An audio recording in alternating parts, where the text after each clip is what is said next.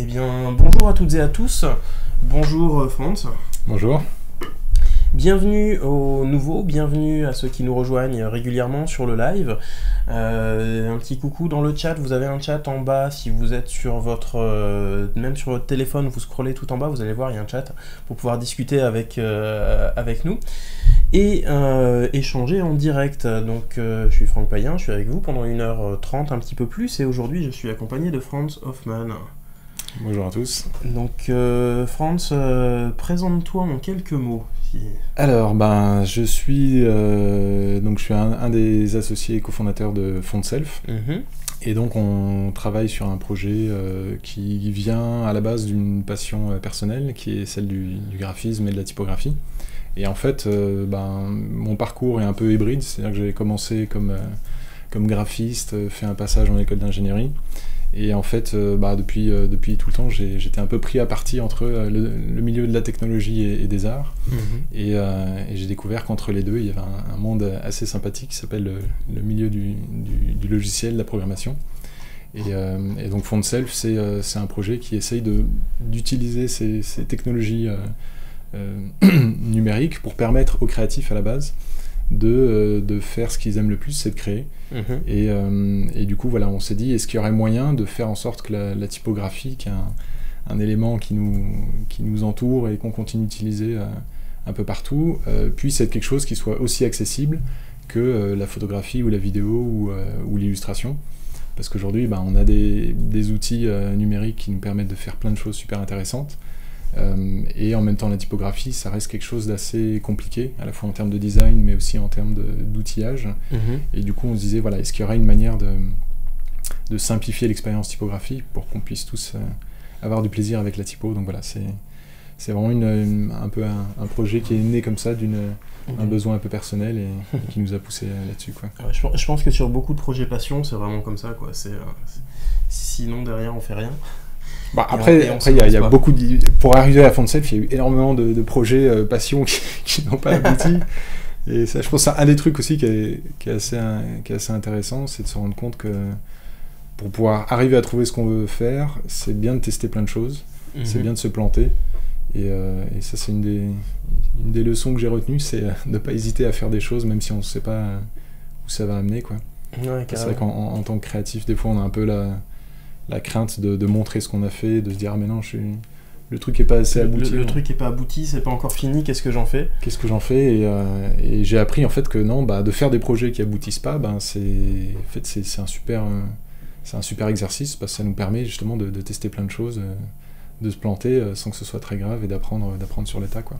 Et de collaborer aussi. C'est la collaboration, travailler avec des gens d'autres domaines, c'était un des éléments qui me plaisait quoi c'est clair, c'est clair. Mais du coup, toi, tu codes ou tu es entouré de développeurs? Alors, euh, bah, aujourd'hui, euh, heureusement pour les utilisateurs, il y a donc, mes deux cofondateurs, Joël et Mohamed, qui sont euh, ingénieurs et qui, qui, développent. Donc voilà, on a, on a une, le, cœur de l'équipe qui maintenant est du produit qui est, développé par des vrais ingés. Mhm. mais, mais voilà, comme j'ai eu un peu d'expérience en, code avant, bah, je continue à, à, mettre le nez un peu dedans. Et, et même au quotidien, je pense que y compris quand on est créatif, c'est intéressant aussi de des fois de mettre un petit peu le nez dans le code, mhm. pas nécessairement d'aller très loin, mais même avec des scripts, des choses comme ça, on peut, euh, on peut vraiment commencer à se créer ses propres outils. Alors des fois c'est simplement pour gagner du temps, automatiser des tâches. Euh, bah, ce qui est chouette, c'est que les outils évoluent aussi et, des choses qu'on faisait à la main, bah, tout d'un coup deviennent, euh, deviennent des fonctionnalités intégrées. Ouais, carrément. Mais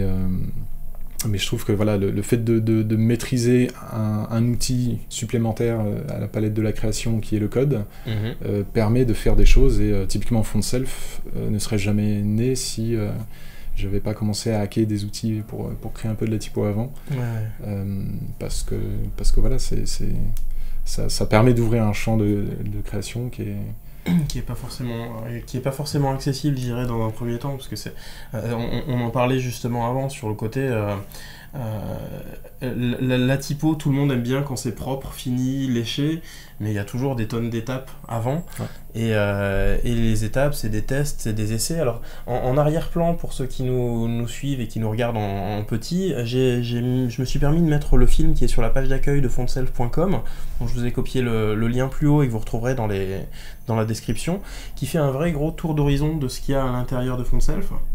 Euh, pour ceux qui sont intéressés, ben, n'hésitez pas, à fontcell.com, il y a vraiment euh, tout dedans. Euh, et, qui démarre en fait sur un, beau projet qui était le, projet de la, typo Gilbert. Alors je vais revenir, dessus parce qu'on peut l'utiliser, on peut la récupérer pour, des projets et sans, oublier de taguer le hashtag Type with Pride. Puisque tout, tout, a été fait avec l'équipe de, de Fontself en, collaboration avec l'équipe de Foncel. Alors en fait, ouais, le, projet euh, Gilbert, donc qui est euh, une typographie qui à la base était un, projet de design euh, qui, a, été fait par l'équipe de Gilvy mhm. à New York, mhm. qui en fait c'est arrivé juste au moment où Gilbert Baker, donc qui était le le, créateur, le designer du, Rainbow Flag, du Rainbow Flag est décédé cette année-là. Et, euh, Ogilvy, qui travaillait avec euh, les gens qui s'occupent de la New York Pride, se disait voilà, ça serait intéressant de, rendre hommage à, ce créatif de manière un peu originale.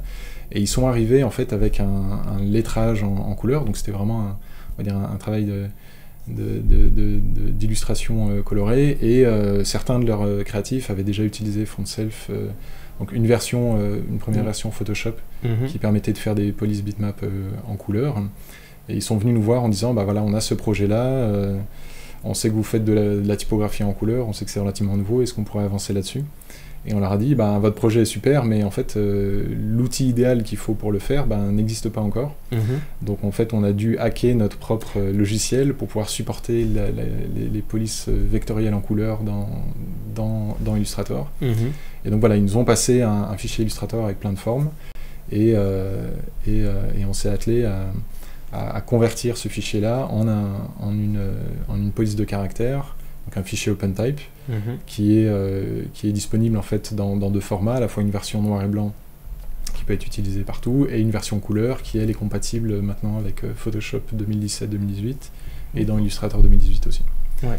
Et, donc voilà, ça c'est un projet. qu'on peut même utiliser dans InDesign 2018, ce que j'ai découvert. Pas, pas, tout tout, mais euh, je vous montrerai tout à l'heure parce que j'ai bien joué avec l'outil. Alors ça, c'est ouais, ça fait partie des, des, des, belles... Euh, des, de, nous, ça fait à peu près 11 ans qu'on essaye de, de bah, travailler justement sur ces questions de, de, créativité, à la fois pour rendre les outils un peu plus faciles d'accès, mhm. mais aussi parce qu'on, voilà, en tant que créatif, quand on développe du lettrage, on a envie de garder euh, ce, qui fait, ce qui fait toute sa richesse euh, quand il est dessiné à la main, ou quand il est fait à la gouache, ou, ou avec du crayon ou de la bombe. Mhm. Et, et, cette richesse-là est, est, quelque chose qui qui en, dans les technologies euh, typographiques actuellement était, était pas faisable, pas utilisable, parce que la typographie, jusqu'à jusqu'à très peu, c'était euh, des fichiers euh, vectoriels où il n'y avait pas d'information de couleur. Mhm. et, donc voilà, comme ça fait longtemps qu'on travaille dessus, on a eu la chance de, commencer à collaborer avec certaines équipes produits chez Adobe. Et, et, quand on a su que les typographies en couleur allaient être supportées d'abord dans Photoshop et cette année dans Illustrator, Mm-hmm. et de manière en fait en, en, preview technologique sur InDesign. Euh, on s'est dit que voilà, c'était c'était c'était le moment. C'était enfin le, le, moment de, de permettre. Euh, avant c'était trop tôt et maintenant ça y est c'est. Alors avant c'était trop tôt. Nous on a FontSelf, on a FontSelf a eu plusieurs vies. On a développé des technologies qui permettaient en fait déjà de créer des fontes en couleur et de les utiliser sur le web. Mhm. Mais c'était des technologies entièrement propriétaires. Euh, certaines utilisaient du, du, Flash au tout début. Ensuite on a fait du HTML. Mais voilà, c'était encore des technos assez euh, euh, pour des cas d'usage assez limités. Mhm. et, et, voilà, en tant que créatif, quand on a envie de designer, ben, souvent on utilise Photoshop Illustrator. Donc c'est c'est enfin en 2017 qu'on a accès à la, typo couleur, donc c'est plutôt une bonne, bonne nouvelle, je pense, pour, pour la communauté. Et, voilà, maintenant, c'est la, nouvelle aventure qui, qui va arriver, c'est de savoir comment chaque graphiste va pouvoir s'approprier ce, nouveau médium, soit en utilisant des, polices existantes, ou même en créant ses propres, ses propres fontes. Et donc voilà, c'est ce qu'on voulait euh, vous, vous présenter mmh. et ce dont on va vous parler un peu plus. Et puis, vous partager aujourd'hui, parce que je pense qu'il y a effectivement pas mal de il y, a pas mal de gens qui vont être intéressés euh, par ce, par ce contenu-là. Je vous mets un petit lien dans le chat euh, que je suis en train de, faire tourner euh, en arrière-plan. il est aussi, d'ailleurs, si vous êtes sur le YouTube, si vous regardez la description en bas, je vous ai mis un tout petit lien sur une page Adobe Font Self 3111 17 Business Catalyst. C'est pas 31 d'ailleurs, c'est 3111. businesscatalyst.com et sur cette page en fait vous avez un petit vous allez retrouver un petit formulaire euh, pour les gens, parce que je sais que j'ai des gens monotaches qui, qui, ont du mal à faire autre chose que nous écouter euh, patiemment, mais je sais aussi qu'il y a des gens multitâches qui euh, gardent la petite vidéo dans un coin de leur écran en se disant ouais je vais regarder des trucs, et qui du coup travaillent en parallèle. Et en parallèle de ce qu'on va faire aujourd'hui, donc avec France, on s'est dit qu'on avait moyen de faire des choses plutôt cool. mais je sais pas si vous le voyez là sur le côté, juste à côté de lui, il y a un petit hovering art director qui est en train de nous regarder et qui est en train de contrôler qu'on fasse bien les choses et qu'on les fasse correctement.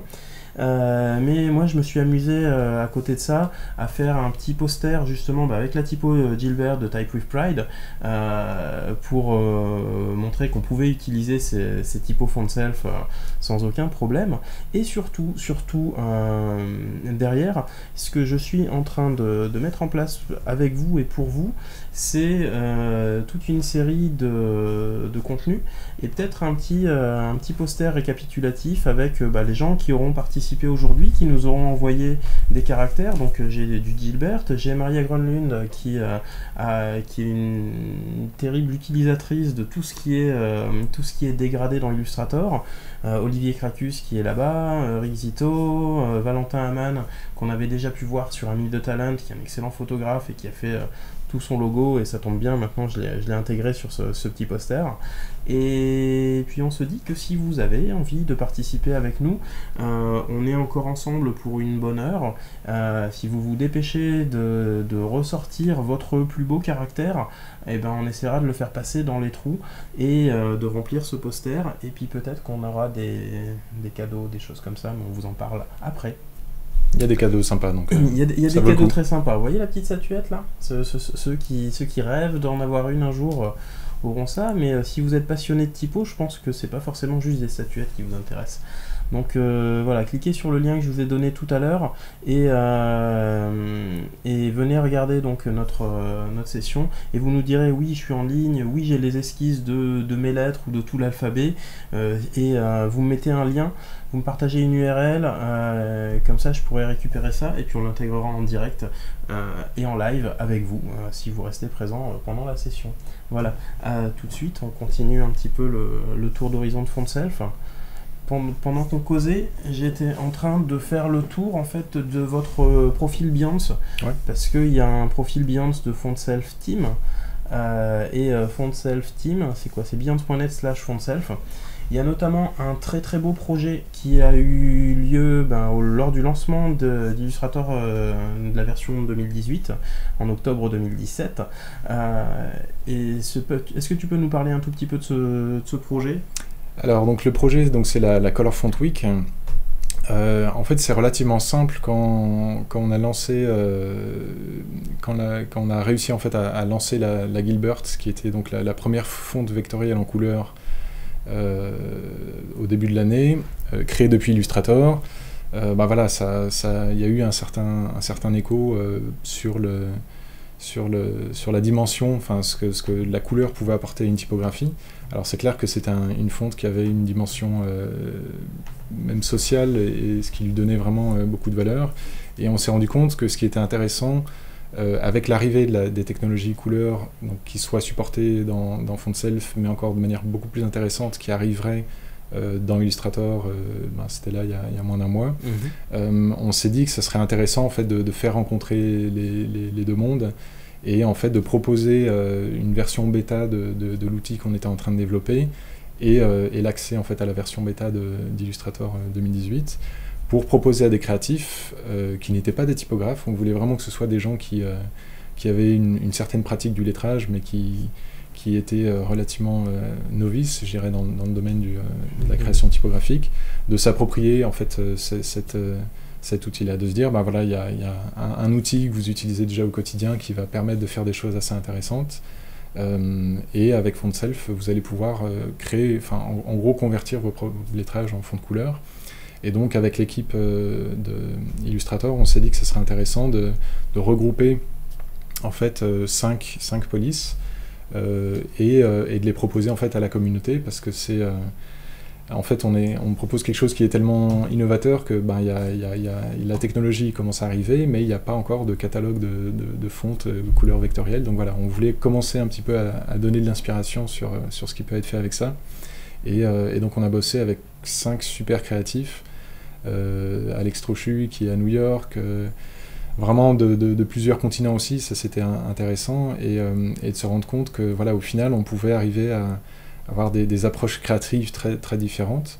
Et, euh, ensuite mettre en avant comment, euh, comment ben, des créatifs qui, pour, qui découvraient à la fois la typographie et à la fois la typographie en couleur, ben, essayer de, tout le bagage qu'ils avaient personnel, euh, essayer de le, ben, de le condenser dans, dans, un projet typographique. Et du coup, voilà, ça a été une période assez intense avant le lancement pour, pour, euh, pour arriver avec un, catalogue euh, qui, était, euh, qui est relativement limité, c'est 5, mhm. polices, mais voilà, qui, qui, était accessible de mhm. manière gratuite pendant la, la Color Font Week. Et du coup, ben, voilà, pour nous, c'est une des, des, nombreuses actions qu'on veut faire pour, pour vous montrer ben, ce qui est possible de faire avec ces nouvelles technologies-là, et aussi ben, pour encourager tous ceux qui ont envie de, de créer du contenu, parce qu'il y a certaines fontes qui sont, qui sont hyper intéressantes. Alors c'est vrai que... Mhm avec une fonte en couleur, on peut, on peut envisager. Euh, il y en a certaines qui se prêtent très bien à des projets spécifiques. Euh, il y en a d'autres qui ont vraiment une qui ont vraiment une patte assez unique, donc qui sont peut-être plus difficiles à utiliser dans, dans des projets. Euh, mais, mais voilà, c'est ça, ça, reste un ça reste un outil. Et après chacun se l'approprie comme comme il a envie quoi. Hum, ouais, bah, c'est clair. Moi, je, t'avoue que j'ai suivi euh, depuis le, depuis le début du Kickstart parce que je trouvais ça vraiment cool. Euh, je pense que du coup, je vais faire un petit sondage là dans le, public. Euh, est-ce que euh, parmi vous, il y a des gens ici qui ont déjà créé soit au moins un caractère, soit carrément tout un alphabet, voire des typographes qui ont pris le temps, non pas seulement de faire un caractère ou un alphabet, mais de faire, alors comme je vais vous le, montrer en, ultra preview, parce que tout à l'heure on, détaillera beaucoup plus euh, avec, euh, avec mais de faire carrément toute une typo à partir, peut-être, ici, de notre fond template, enfin de son fond template d'ailleurs, puisque euh, bah oui, quand j'ai besoin de 3 lettres, 4 lettres pour euh, travailler, c'est plutôt ça va, ça se fait, c'est assez facile. Quand je commence à me dire que je vais faire un alphabet en majuscule ou en minuscule, il y a quand même un peu plus de taf. Mais si je veux travailler de manière un peu correcte et que j'ai envie d'utiliser tout le, set de caractères pour l'Europe, pour les, les langues romanes avancées, il y a, pas, mal de, boulot. Et tout ça, en fait, c'est déjà dispo à l'intérieur de votre version de FontSelf. Donc euh, voilà, un petit oui, un petit non pour les, alphabets. Ouais, ouais. Alors, désolé, H2B2. Euh, euh, pour tous ceux qui chattent en direct, si vous nous mettez des capitales tout le temps, le bot est pas très d'accord. Il préfère que vous parliez, que vous parliez poliment en, en minuscule.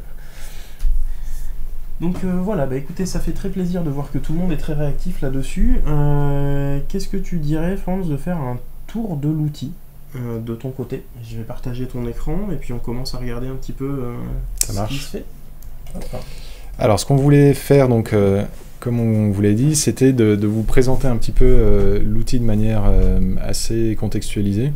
Et en l'occurrence, en utilisant des projets qui sont qui, viennent certains d'utilisateurs ou qu'on avait commencé à bosser pour euh, parce que quand on parle de typographie, de création typographique, euh, c'est vrai que souvent on a un peu l'image de des, grands classiques de la typo et on se dit oula ben c'est euh, ça demande un savoir-faire de, de, design relativement important. si on a testé des outils de création typographique avant, on sait que ça peut être des outils qui peuvent être un peu intimidants par, leur, par la complexité de, tout ça.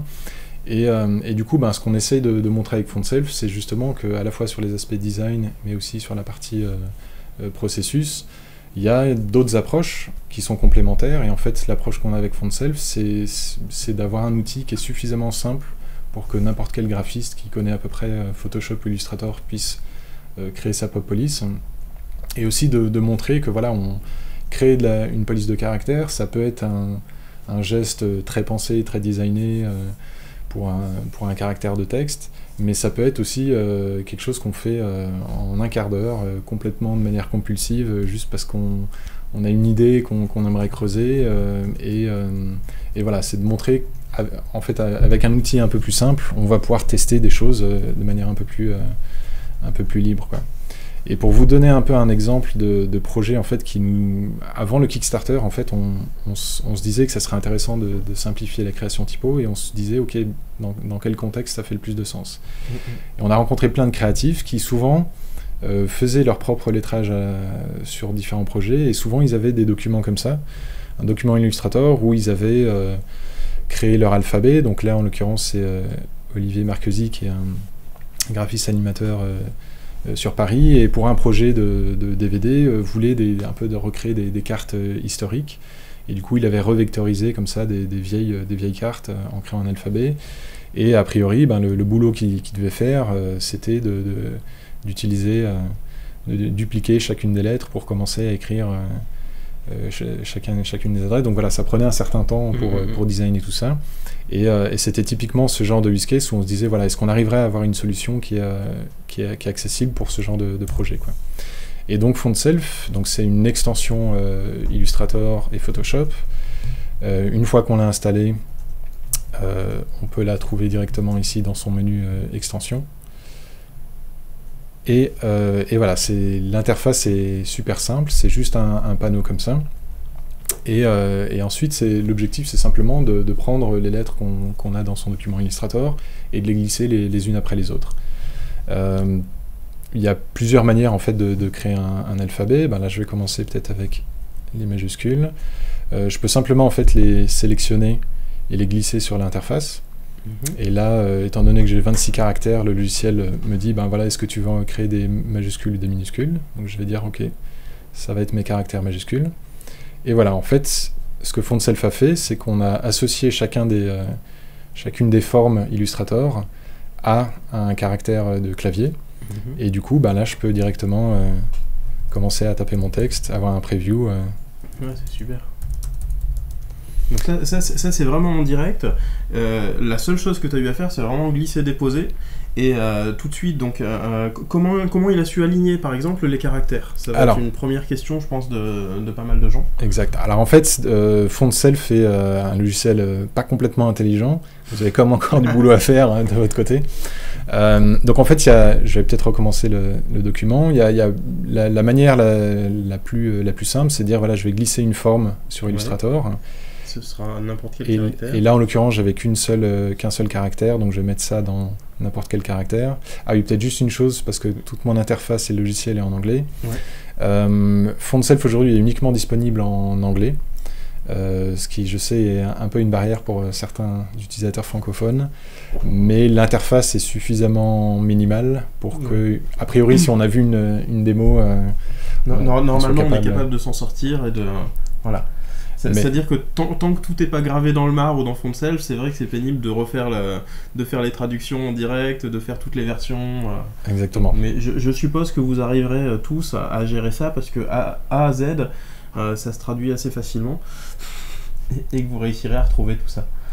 Et donc voilà, l'idée c'est qu'on peut, on peut vraiment fabriquer, euh, là je vois une question, euh, est-ce qu'on fabrique un, alphabet à partir de 3 ou 4 caractères? Un petit alphabet. un petit alphabet. On peut fabriquer un, alphabet d'ADN par exemple, A, T, G, C ou euh, U, A, G, C, et vous faites un alphabet de 4 caractères et vous codez l'ensemble de l'humanité. Mais Alors ça, justement, c'est une, une, bonne remarque, c'est qu'en fait, quand on, quand on, commence un travail de, de lettrage, euh, bah voilà, on va commencer avec une idée sur une ou deux lettres euh, en particulier. Mhm. Et euh, au début du projet, bah, on a peut-être que commencé à bosser que sur ABCD. Quoi. Et en fait, avant même d'avoir l'alphabet complet, on peut déjà commencer à utiliser FontSelf pour se rendre compte ce que va donner le, le, lettrage de manière un peu dynamique. Alors bien sûr, je peux copier-coller chacune des lettres et écrire des mots, mais je peux aussi simplement glisser ce caractère-là sur ces, ces, quatre formes dans FontSelf. Et là, en fait, sous chacune, euh, chacune des, formes, il y a la petite case orange qui en fait correspond à la, touche de caractère qui va être associée à, à, l'image qu'on vient d'incorporer. Donc là, manuellement, je peux dire, ok, je vais faire euh, A, B, C, D. Et du coup, je peux, euh, rien qu'en tapant ces lettres, avoir un petit aperçu de, ce que donnerait un texte sans avoir la, police complète. Donc ça permet de, tester un petit peu le, travail avant même d'avoir complètement fini le, projet de, son lettrage. Quoi.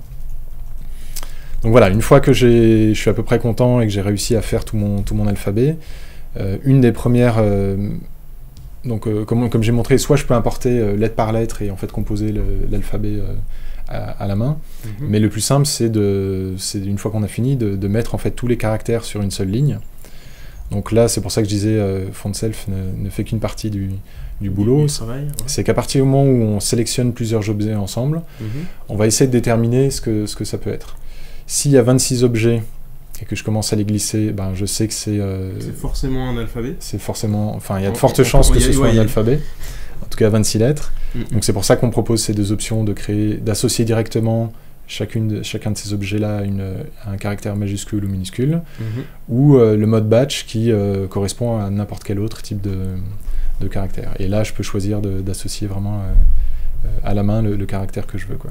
Alors c'est rigolo parce que Stéphane euh, parle de la, DNA fonte, donc la fonte ADN dont je parlais tout à l'heure, qui existe euh, évidemment pas encore. Si vous avez du temps, n'hésitez pas. Et, il répondait tiens, ça pourrait être une icône fonte.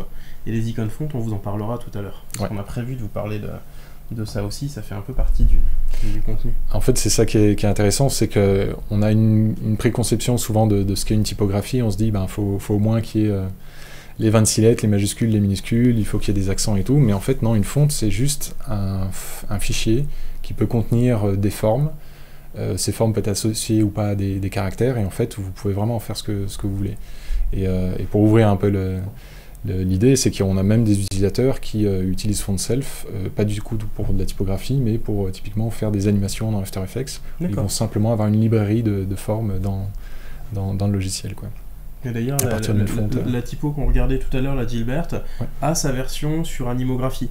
C'est-à-dire, euh, vous pouvez. Euh, euh, donc, c'était la typo avec les, les petits caractères. Hop, j'essaie de vous la remettre. Je pense un que. Instant, sur Cette typo-là, elle existe aussi en version, en version animée où chaque trait va se dessiner. Et pour les utilisateurs qui font du motion ou autre, si vous en avez besoin, elle est dispo gratos. Il n'y a qu'à y aller. En fait, Animographie qui est aussi un, autre, euh, une autre manière de faire la typographie. C'est en l'occurrence un, outil sur, euh, sur After Effects et qui permet de, vraiment de, faire de la typographie animée. Donc c'est un, projet hyper intéressant aussi. Mais, euh, et du coup, voilà, c'est intéressant de voir qu'on peut. La typographie, il y a plein de manières de, la créer et de, l'utiliser. Donc peut-être juste pour revenir sur, la création d'une fonte de, base depuis FontSelf, donc je peux faire le drag and drop. Ici, dans l'interface, on a euh, quatre boutons qui en fait sont des raccourcis. Euh, voilà, si on, préfère plutôt cliquer sur un bouton que, de faire le drag and drop, je peux aussi simplement cliquer sur, euh, la BCDR. Et là, vous allez voir, donc en fait, FontSelf fait deux choses, c'est qu'il associe donc les, les, 26 caractères, donc vraiment là, c'est en fait de, gauche à droite. Donc il faut respecter l'ordre des caractères pour qu'il associe la forme avec la, bonne, touche clavier. Mm-hmm. Euh, et il y a un autre élément aussi qu'on fait, on va le voir en fait avec les, minuscules, c'est que par défaut, bah, on, en fait, FontSelf permet de, de positionner le caractère euh, sur une ligne de base. Et là, on essaye de, le faire de manière euh, un petit peu intelligente. Bah, par exemple, là, sur mes minuscules, on voit que j'ai mon J ou mon G qui ont des, caractères descendants.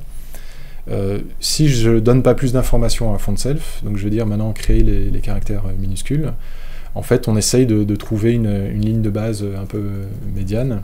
Et euh, typiquement, ben là, vous pouvez voir que mon, G et mon J sont euh, bien positionnés sur, le, sur les lignes de base. Donc voilà, on essaye de, simplifier euh, des petites choses auxquelles on ne pense pas nécessairement, mais, voilà, de, faire en sorte que vous ayez de manière un peu automatisée le, moins, de choses à penser quand vous, vous créez votre, votre police de caractère. Et surtout que là, du coup, ça se fait vraiment en quelques secondes. Tu as de quoi taper, de, de, quoi saisir tout ton, tout ton alphabet. Quoi. C'est vraiment...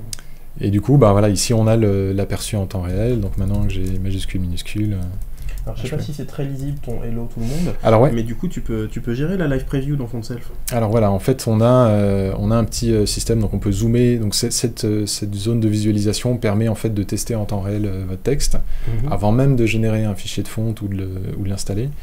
Et on peut euh, bah, soit avoir un fond noir, euh, en fonction de, de, ce qu'on veut faire, ça peut être utile.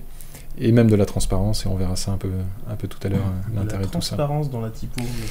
De la transparence dans la typo, ben oui, il y, a plein de nouvelles questions qui arrivent avec la, avec la, typographie en, couleur. Donc, donc voilà, c'est ça qui est, qui, est, chouette aussi, c'est qu'on en revient en fait à, à redécouvrir ce qu'est, ce qu'est la typographie. Et, et, ça, on en parlera un peu plus en, détail. Mais, donc peut-être pour faire un petit tour du, propriétaire sur, sur FontSelf. Donc là, j'ai la, vue de, prévisualisation, donc qui me permet de, tester en temps réel euh, la typographie. Ici, j'ai tous les caractères qu'on vient d'importer dans l'extension. Et euh, comme vous pouvez le voir, en fait, on peut aussi interagir directement. Euh, donc quand je viens sur un caractère, je peux aussi commencer à le déplacer. Alors je vais taper ici un message de, test. Et on peut en fait éditer les, informations de base de, la fonte. Donc là, en l'occurrence, je, change la, ligne de base. Euh, on peut bouger les marges gauche et droite euh, directement dans l'interface. Je peux aussi simplement soit double-cliquer sur le caractère, soit cliquer sur cette zone-là pour avoir ici une, une, vue un peu plus euh, précise pour, pour ajuster ma ligne. Ou même si je veux positionner précisément le, euh, la, ligne euh, de base, par exemple, je peux rentrer les, coordonnées euh, directement là-dessus. Donc ça, c'est vraiment le, minimum qu'on fait en général quand on veut tester un alphabet, importer les caractères, les tester et éventuellement recaler un petit peu les, positions. ensuite, pour montrer rapidement tout, le, tout le workflow, quand on est dans Illustrator, il y a une fonctionnalité qui est assez intéressante euh, sur le Mac, c'est qu'on peut faire une, euh, une préinstallation de la fonte. Mhm. Donc là, je vais simplement cliquer sur euh, le bouton Install et je dois lui donner une, une police. Donc on va l'appeler, en l'occurrence, c'est quoi la campagne? Et ce qui se passe en fait, c'est qu'on là, on a directement généré un fichier police, donc c'est un fichier OpenType, mhm. qui est un fichier OpenType comme, comme tous les autres formats de, de fonte, et qui a la particularité en fait d'être automatiquement généré et installé dans un dossier. Euh, donc c'est un dossier un peu, euh, un peu magique, c'est un dossier fonte euh, qui est propre en fait à, Illustrator et qui a l'avantage de permettre d'installer et de rendre disponible la police dans, dans, Illustrator. Donc ça c'est uniquement Illustrator qui a accès à cette fonte là, mais qui a l'avantage, ben voilà, j'ai pas eu à installer le, fichier et, le, fichier est directement accessible. Donc là ce que je vais faire c'est que pour pouvoir tester ma fonte, ben, je vais simplement créer un caractère, euh, un bloc de texte, et je vais aller chercher ma campagne, qui est ici. Et voilà, j'ai ma, fonte que je peux euh, directement... alors, je vois qu'il y a quelques glitches. Et les petits caractères qui passent pas. le C il est bon. Est-ce qu'il te met des ligatures en automatique et du coup ça, ça, ça serait ce qui passe pas? Qu'est-ce que ça peut être? Très bonne question. Euh, c'est comme s'il y avait deux caractères à cet endroit-là. Non, il y a, il y a plusieurs. Euh, hop, juste réassigner la fonte. Ah ouais. Bon. Ça, c'est l'effet démo, mais qui est effectivement étrange. Ouais, il, peut, il, peut, se passer de toute façon, hein, c'est comme tout. Quand on prépare les caractères, on les prépare en, on les prépare en, à la, plume ou avec des, objets, des rectangles, des cercles, etc. Mais chaque caractère, ça va être soit un objet mis à plat, soit un groupe, c'est ça? Alors ouais, en fait, l'astuce, c'est que pour que l'objet soit reconnu directement dans FontSelf, il faut vraiment que ce soit une entité unique. Donc si vous avez, euh, par exemple, c'est ce qui arrive souvent avec, euh, avec certains caractères comme le, comme le i, euh, en fait, il faut, pour qu'il soit considéré comme un seul caractère, il faut le grouper. Mhm. Donc simplement sélectionner les, deux parties de, l'objet, je le groupe. commande ou CTRL G dans Illustrator, associé sur le... Ou ici, utiliser la commande grouper. Et, euh, et, ensuite l'importer directement dans le... directement dans l'application. Dans l'extension, quoi. Ouais, parce que je sais qu'il y a... Moi, la première fois, c'est vrai que c'était une, une grande question. Il me reconnaissait pas mes 26 lettres tout simplement parce que j'avais 26 lettres plus des, le point du I, le point du, J euh, qui était perdu au milieu. Euh, donc euh, voilà, c'est toujours, toujours bon à, préciser pour retrouver un petit peu ces petits. Alors pendant ce temps-là, il y a Daniel qui, me, qui anticipe un peu les questions, mais il demande est-ce qu'on aura moyen de créer plusieurs versions d'un même caractère? Exact. typiquement des variantes de caractères, des variantes stylistiques. Et oui, on aura moyen, on va vous montrer ça tout à l'heure, vous inquiétez pas. On y vient. en fait, on voulait juste finir un petit peu le, le, tour sur, le, sur, les, sur les notions de base, justement, avec FontSelf, et notamment cette question de, de l'installation et, de l'export de, de fonte. Mhm. parce que comme j'ai montré, donc là on a une, une, fonte qui est accessible directement dans, dans, Illustrator. Et le gros avantage, c'est que si je vais choisir mon, mon, L par exemple, si je veux réajuster par exemple la ligne de base de, mon L, je peux simplement lui demander de réinstaller la fonte. Mhm. Et donc là, ça régénère un, le fichier OpenType, ça écrase en fait le, fichier qui était dans le dossier spécial euh, euh, que Illustrator reconnaît. Et là, on le voit dans l'interface, dans j'ai directement mon, euh, mon L qui est, qui est modifié. Quoi. c'est fou ça. voilà, moi je, je, suis très admiratif du boulot qu'ils ont réalisé autour de FontSelf parce qu'il y a vraiment, voilà, tout, tout, a été pensé pour les designers, pour les, euh, pour les graphistes, pour nous simplifier la vie et, euh, et être capable d'accéder super vite à l'ensemble de vos caractères, euh, quelle, que soit, quelle que soit la méthode de départ en plus. Parce que ici, c'est déjà des caractères qui sont tracés et qui sont vectorisés, mais on va voir qu'on a plein de manières d'entrer dans les logiciels pour créer tout ça. Peut-être juste pour remontrer, là aussi une question qu'on nous demande souvent, c'est ok, j'ai j'ai créé une, euh, j'ai modifié mon, caractère. Par exemple, là, en fait, je, voudrais que mon, mon haut ce soit un, un, un haut plein. Euh, bah, on peut, il y a plusieurs manières de faire. Je peux simplement dire, ben, je vais le rajouter dans, la liste des symboles et je vais lui dire d'appliquer le, caractère haut.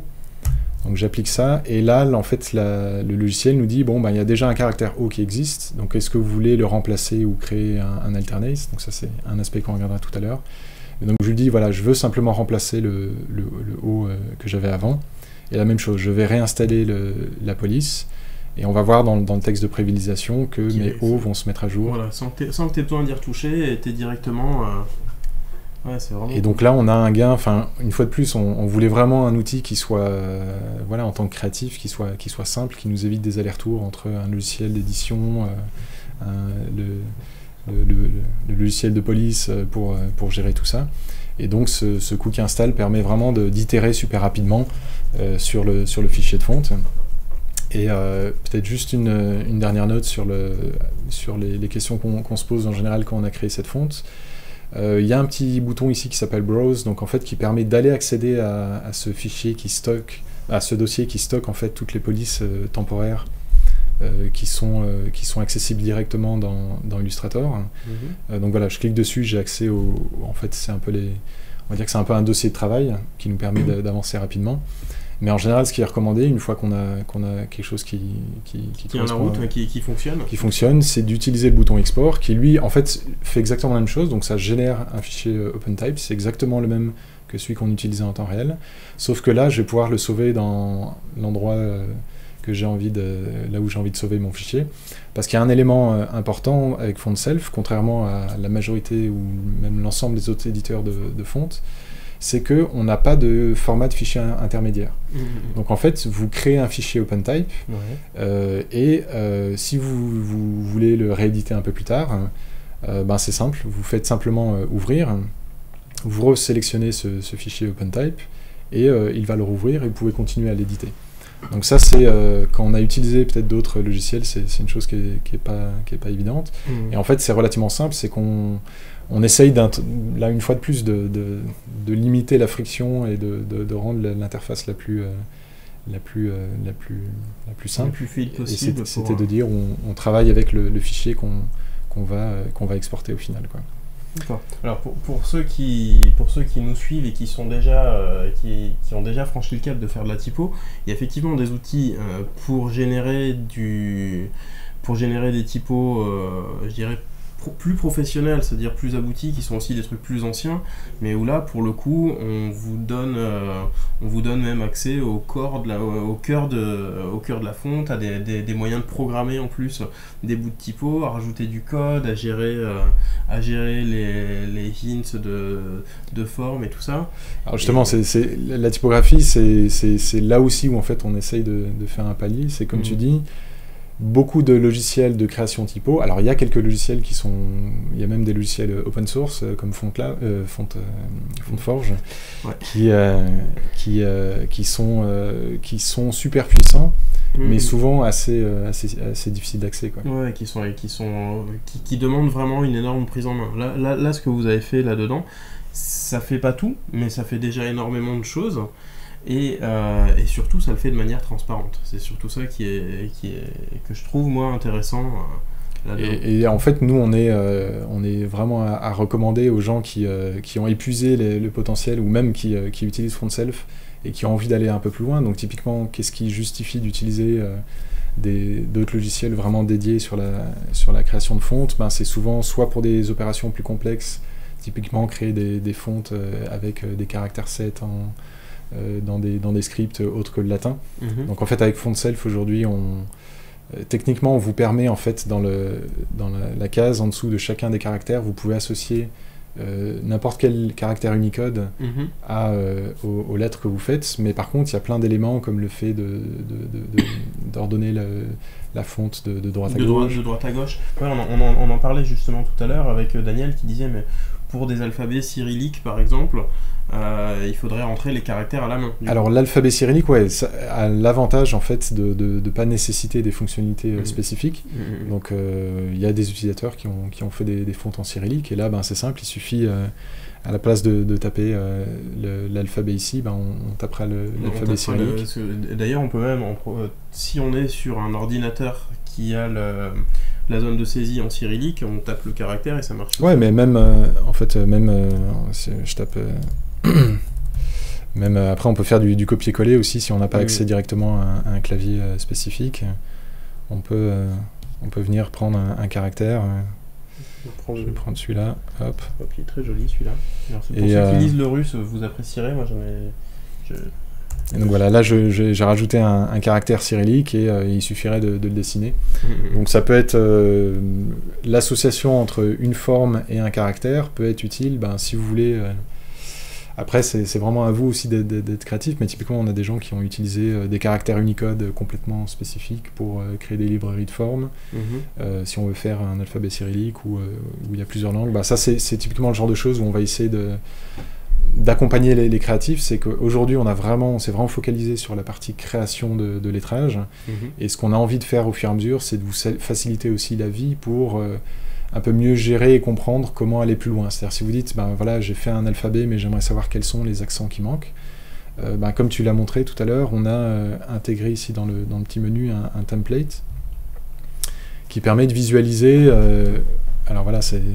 Ça, c'est l'ensemble de l'alphabet. Alors, c'est le, il y a le roman classique et, et, le latin étendu. Ça, Exactement, donc c'est euh, après il y, a plusieurs euh, types de caractères set. Là c'est un, un, caractère set on va dire euh, creative friendly où voilà on a vraiment les, caractères de base et ce qu'il faut pour les, les, principales langues latines avec différents caractères de ponctuation. Et je, mhm. vais en parler un petit peu sur comment comment designer ça. Mais vraiment voilà il y a créer une fonte ça peut être ça peut être au final des, milliers de caractères et et pour aller loin vraiment dans le, travail, dans l'édition, ben, souvent on avait besoin de ces logiciels super compliqués. Mais écrire une fonte, ça peut être aussi, euh, voilà, pour un projet euh, spécifique d'une après-midi, vouloir euh, juste faire un, alphabet. Et, et c'est là que FontSelf est vraiment complémentaire. C'est qu'on a pas mal d'utilisateurs qui, y compris des, des, pros typographes, qui des fois ont besoin d'importer des formes depuis Illustrator dans un logiciel d'édition de fonte et, et utilisent FontSelf parce que ça permet de le faire super rapidement. Quoi.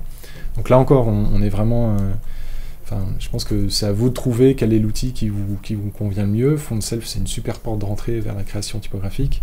Et après, ben, il y a, d'autres outils qui permettent aussi d'aller un peu plus loin. Mais on va vous montrer qu'il y a déjà quand même pas mal de choses qu'on peut faire maintenant avec les dernières versions de, de FontSelf. Donc, euh, donc voilà, on, peut exporter le, fichier de fonte euh, directement de, manière, de manière directe et le rééditer ensuite dans, dans, dans FontSelf. Et je voulais vous montrer aussi, ben, tout à l'heure il y avait une question sur, les, euh, sur la manière de gérer en fait plusieurs, euh, plusieurs formes. Ben, si typiquement on se disait, ben voilà, en fait mon, mon haut, euh, on voulait peut-être le, garder, le garder dans, le, dans, le, dans la collection, en fait que je puisse de manière complètement décider d'avoir des variantes de, lettres. Ben, je vais le faire typiquement là en utilisant une autre variante de, de du, lettrage. Et ce coup-ci, en fait, plutôt que de d'écraser la, fonte existante, Euh, FontSelf va détecter donc que j'ai euh, déjà un caractère A qui, euh, qui se trouve dans la police. Mhm. Et je vais lui demander en fait de remplacer, pas de le remplacer, mais de, créer une alternate, donc en fait une deuxième version du, caractère. Et je peux lui demander d'appliquer ça sur les, 26 caractères que j'ai sélectionnés. Donc je lui dis créer un caractère alternatif. Donc là on peut voir, tiens, je vais peut-être juste rajouter mon B histoire de d'être sûr. Et donc justement là j'ai envie de créer un alternate. Et donc voilà, pour chacune des, lettres de mon alphabet, j'ai une version alternative et, euh, et du coup je peux euh, en fait réinstaller ma, typographie ici. Mhm. Je reviens sur le texte que j'étais en train d'éditer. Alors je vois qu'il me... Ben voilà, je viens de faire du, debug. Euh, ah non, j'ai pas importé les minuscules. Je pensais que les minuscules n'étaient pas importés, mais du coup je vais le faire aussi pour les, pour les minuscules. Donc alterner, alterner et les majuscules et les minuscules et les, rentrer, les remplacer directement comme ça. Donc comme ça, j'ai deux fois mes majuscules, deux fois mes minuscules. Et on va voir comment on peut euh, utiliser justement des, fonctionnalités avancées d'Illustrator pour, euh, pour, euh, pour gérer tout ça. Donc là, une fois de plus, je réinstalle la typographie et en temps réel, je vais pouvoir revenir sur le texte que j'étais en train d'éditer tout à l'heure. Et là, en fait, ce, qui est, euh, ce qui est vraiment super euh, intéressant, c'est qu'on n'a pas, eu, euh, on pas eu de programmation à faire déjà. Mhm. Pour ceux qui ont utilisé des logiciels de, création typographique pour créer un caractère alternatif, comme on vient de faire là, bah, en général, il faut faire un, un petit bout de code spécifique qui va dire faire une substitution pour, pour le caractère, définir un type de... Parce qu'il y a plusieurs manières de, stocker des, caractères alternatifs dans une fonte. Mhm. Et là aussi, avec FontSelf, on s'est dit, voilà, on va prendre le cas d'usage le plus courant. et, et, la seule chose que vous allez faire, c'est de dire que c'est un caractère alternatif. Et tout le, tout le, tout le codage, en fait, est fait de manière... Tout le reste se met en place. Donc ça correspond exactement à la, à la demande de, de Daniel tout à l'heure qui disait, bah oui, Franck nous a montré, parce que je, leur montre des trucs, on a eu une session il y a 2-3 semaines sur laquelle j'ai présenté justement toutes les nouveautés typographiques à l'intérieur d'InDesign, de Photoshop et d'Illustrator. Et du coup, j'ai montré les, les, les, variantes de caractères où d'un seul clic, on était capable de mettre, par exemple, quand vous avez euh, une typo, euh, là, j'avais choisi le, cas d'une typo type euh, mariage, une anglaise, avec beaucoup de, beaucoup de froufrou autour. on va pas, va pas mettre des anglaises en capital au milieu de nos, lettres. Et puis, si, elle est, si c'est le premier caractère ou le dernier caractère, on n'aura pas forcément le même, rendu. Et donc, voilà un petit peu le genre de choses qu'on essayait de mettre, euh, mettre en place. Il y a, y, a des, y a des logiciels qui. Enfin, il y a des fontes en fait qui, qui sont. Qui, qui, font un usage assez, assez, assez poussé justement de, de, ces, de ces alternates en fonction, comme tu disais, en fonction de l'endroit où on est dans le, dans le caractère, dans, le, dans le mot. Euh, et, voilà, ce qui est vraiment intéressant là, c'est qu'on va pouvoir tester ce genre de choses de manière euh, super rapide et, et, c'est assez intéressant. Et, l'usage, là encore, ce qui est super agréable, c'est de pouvoir s'appuyer sur, euh, sur la manière dont Illustrator a intégré le support de ces caractères alternatifs. Et, ben, c'est relativement simple. Si la démo veut bien. Ben, décidément, c'est pas mon jour. La démo est pas d'accord alors attends. Quand tu l'installes, est-ce que tu avais fait install ou est-ce que juste je t'ai coupé et du coup Non, non, c'est. je vais juste refaire un, test. Ah oui, non, parce que je suis en, en capital. Est-ce que c'est ça qui nous embête?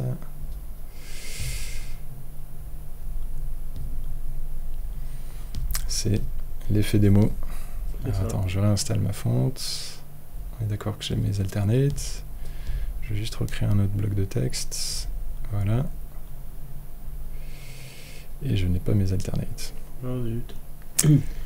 C'est fort dommage. Mais alors si tu alors si tu exportes ta fonte, après tu peux la mettre, euh, tu peux même l'utiliser dans un dans InDesign. Je sais pas si tu as InDesign ouvert sur ta sur ta machine. Alors ouais. Donc par, contre pour le coup euh, l'export là il faut le refaire manuellement. Mhm. Donc euh, là je, je vais juste réécraser le, fichier que je vais exporter tout à l'heure. Et là aussi on peut simplement même ouvrir ici dans, dans, la petite alerte ouvrir directement le, le fichier de fonte alors il, doit être déjà ouvert en fait, donc je vais juste... Ah, il est là. Donc en fait je peux l'ouvrir, lui demander de l'installer. Mhm. Donc là la, fonte va s'installer au niveau euh, système. Et par contre, un élément à savoir, c'est que du coup, je vais me retrouver avec deux fontes, donc une qui est installée dans le dossier spécial d'Illustrator et une autre qui est sur mon, sur mon font book, donc sur le, le dossier système.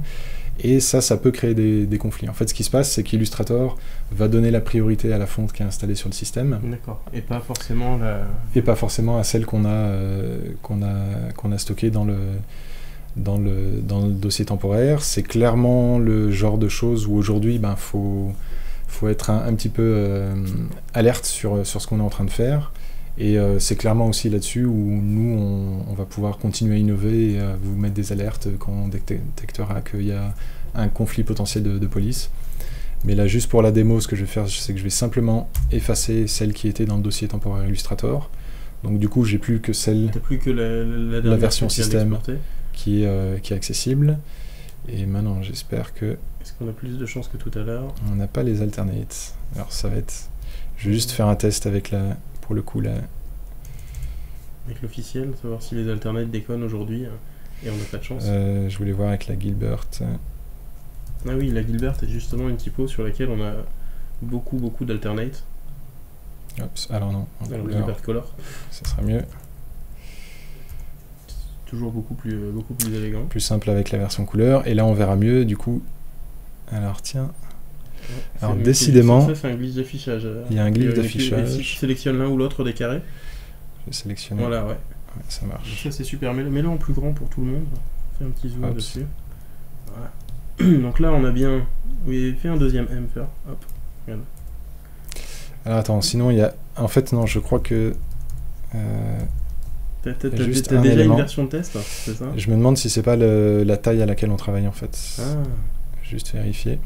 Parce qu'il y a quelques micro-glitches mm, mm, mm. qu'on a trouvé au niveau du display. Je vais juste vérifier si c'est ça. Ah, vous avez droit à une session debug en, en direct?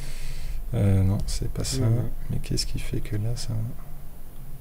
Voilà, donc pour, ceux qui n'ont pas vu, on est en train de changer la couleur, c'est-à-dire que au-dessus vous avez les deux M qui sont en rouge, jaune et bleu, et en bas vous avez le M qui est en vert, bleu et violet. Donc c'est vraiment super de pouvoir y accéder directement euh, depuis, le, depuis ce petit panneau euh, pour, euh, pour donner un petit, un petit peu plus de fantaisie à votre typo et, et, pouvoir, pouvoir saisir un texte un petit peu plus complexe sans avoir la monotonie de bah, toujours la même couleur ou autre, par exemple.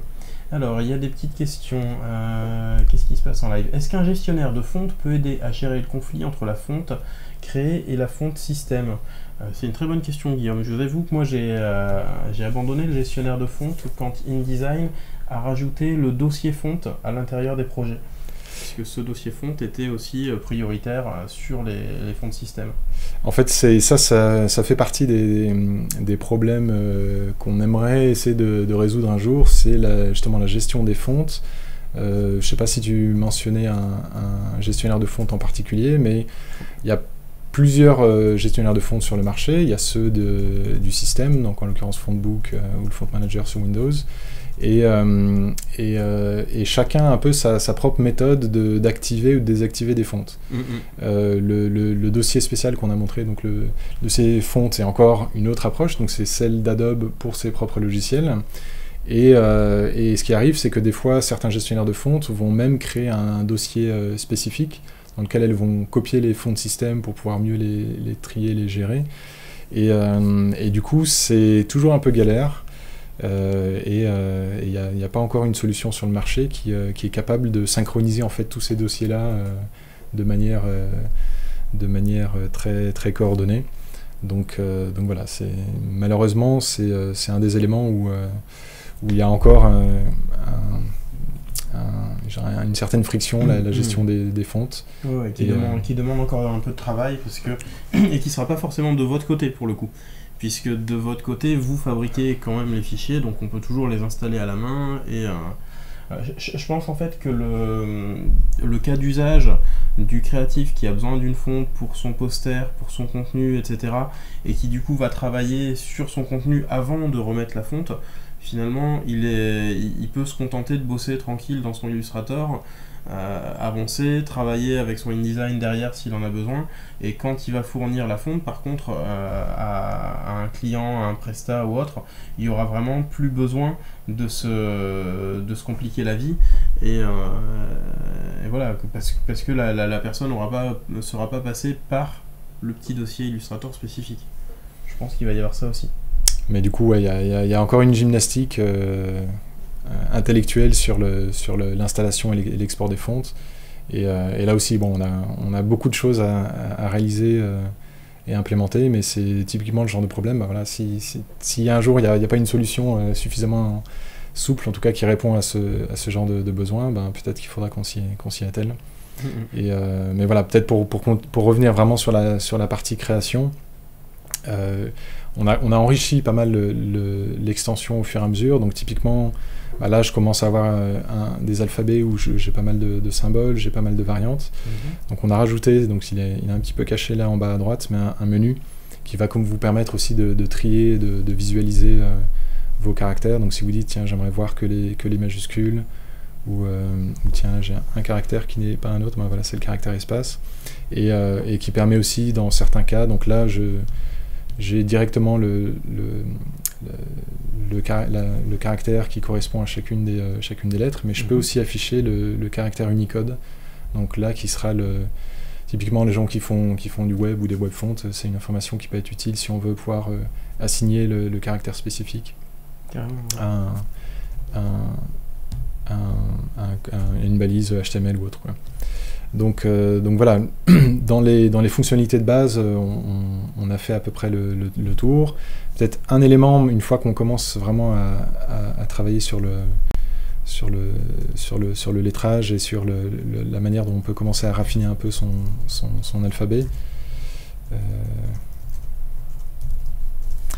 je vais peut-être montrer une partie qui est le... Donc en fait ici dans le, dans le menu principal, peut-être juste quelques fonctionnalités de base, on peut, on peut régler de, manière, euh, de manière plus ou moins fine l'espacement le, en fait entre les, entre les caractères. si je zoome un petit peu,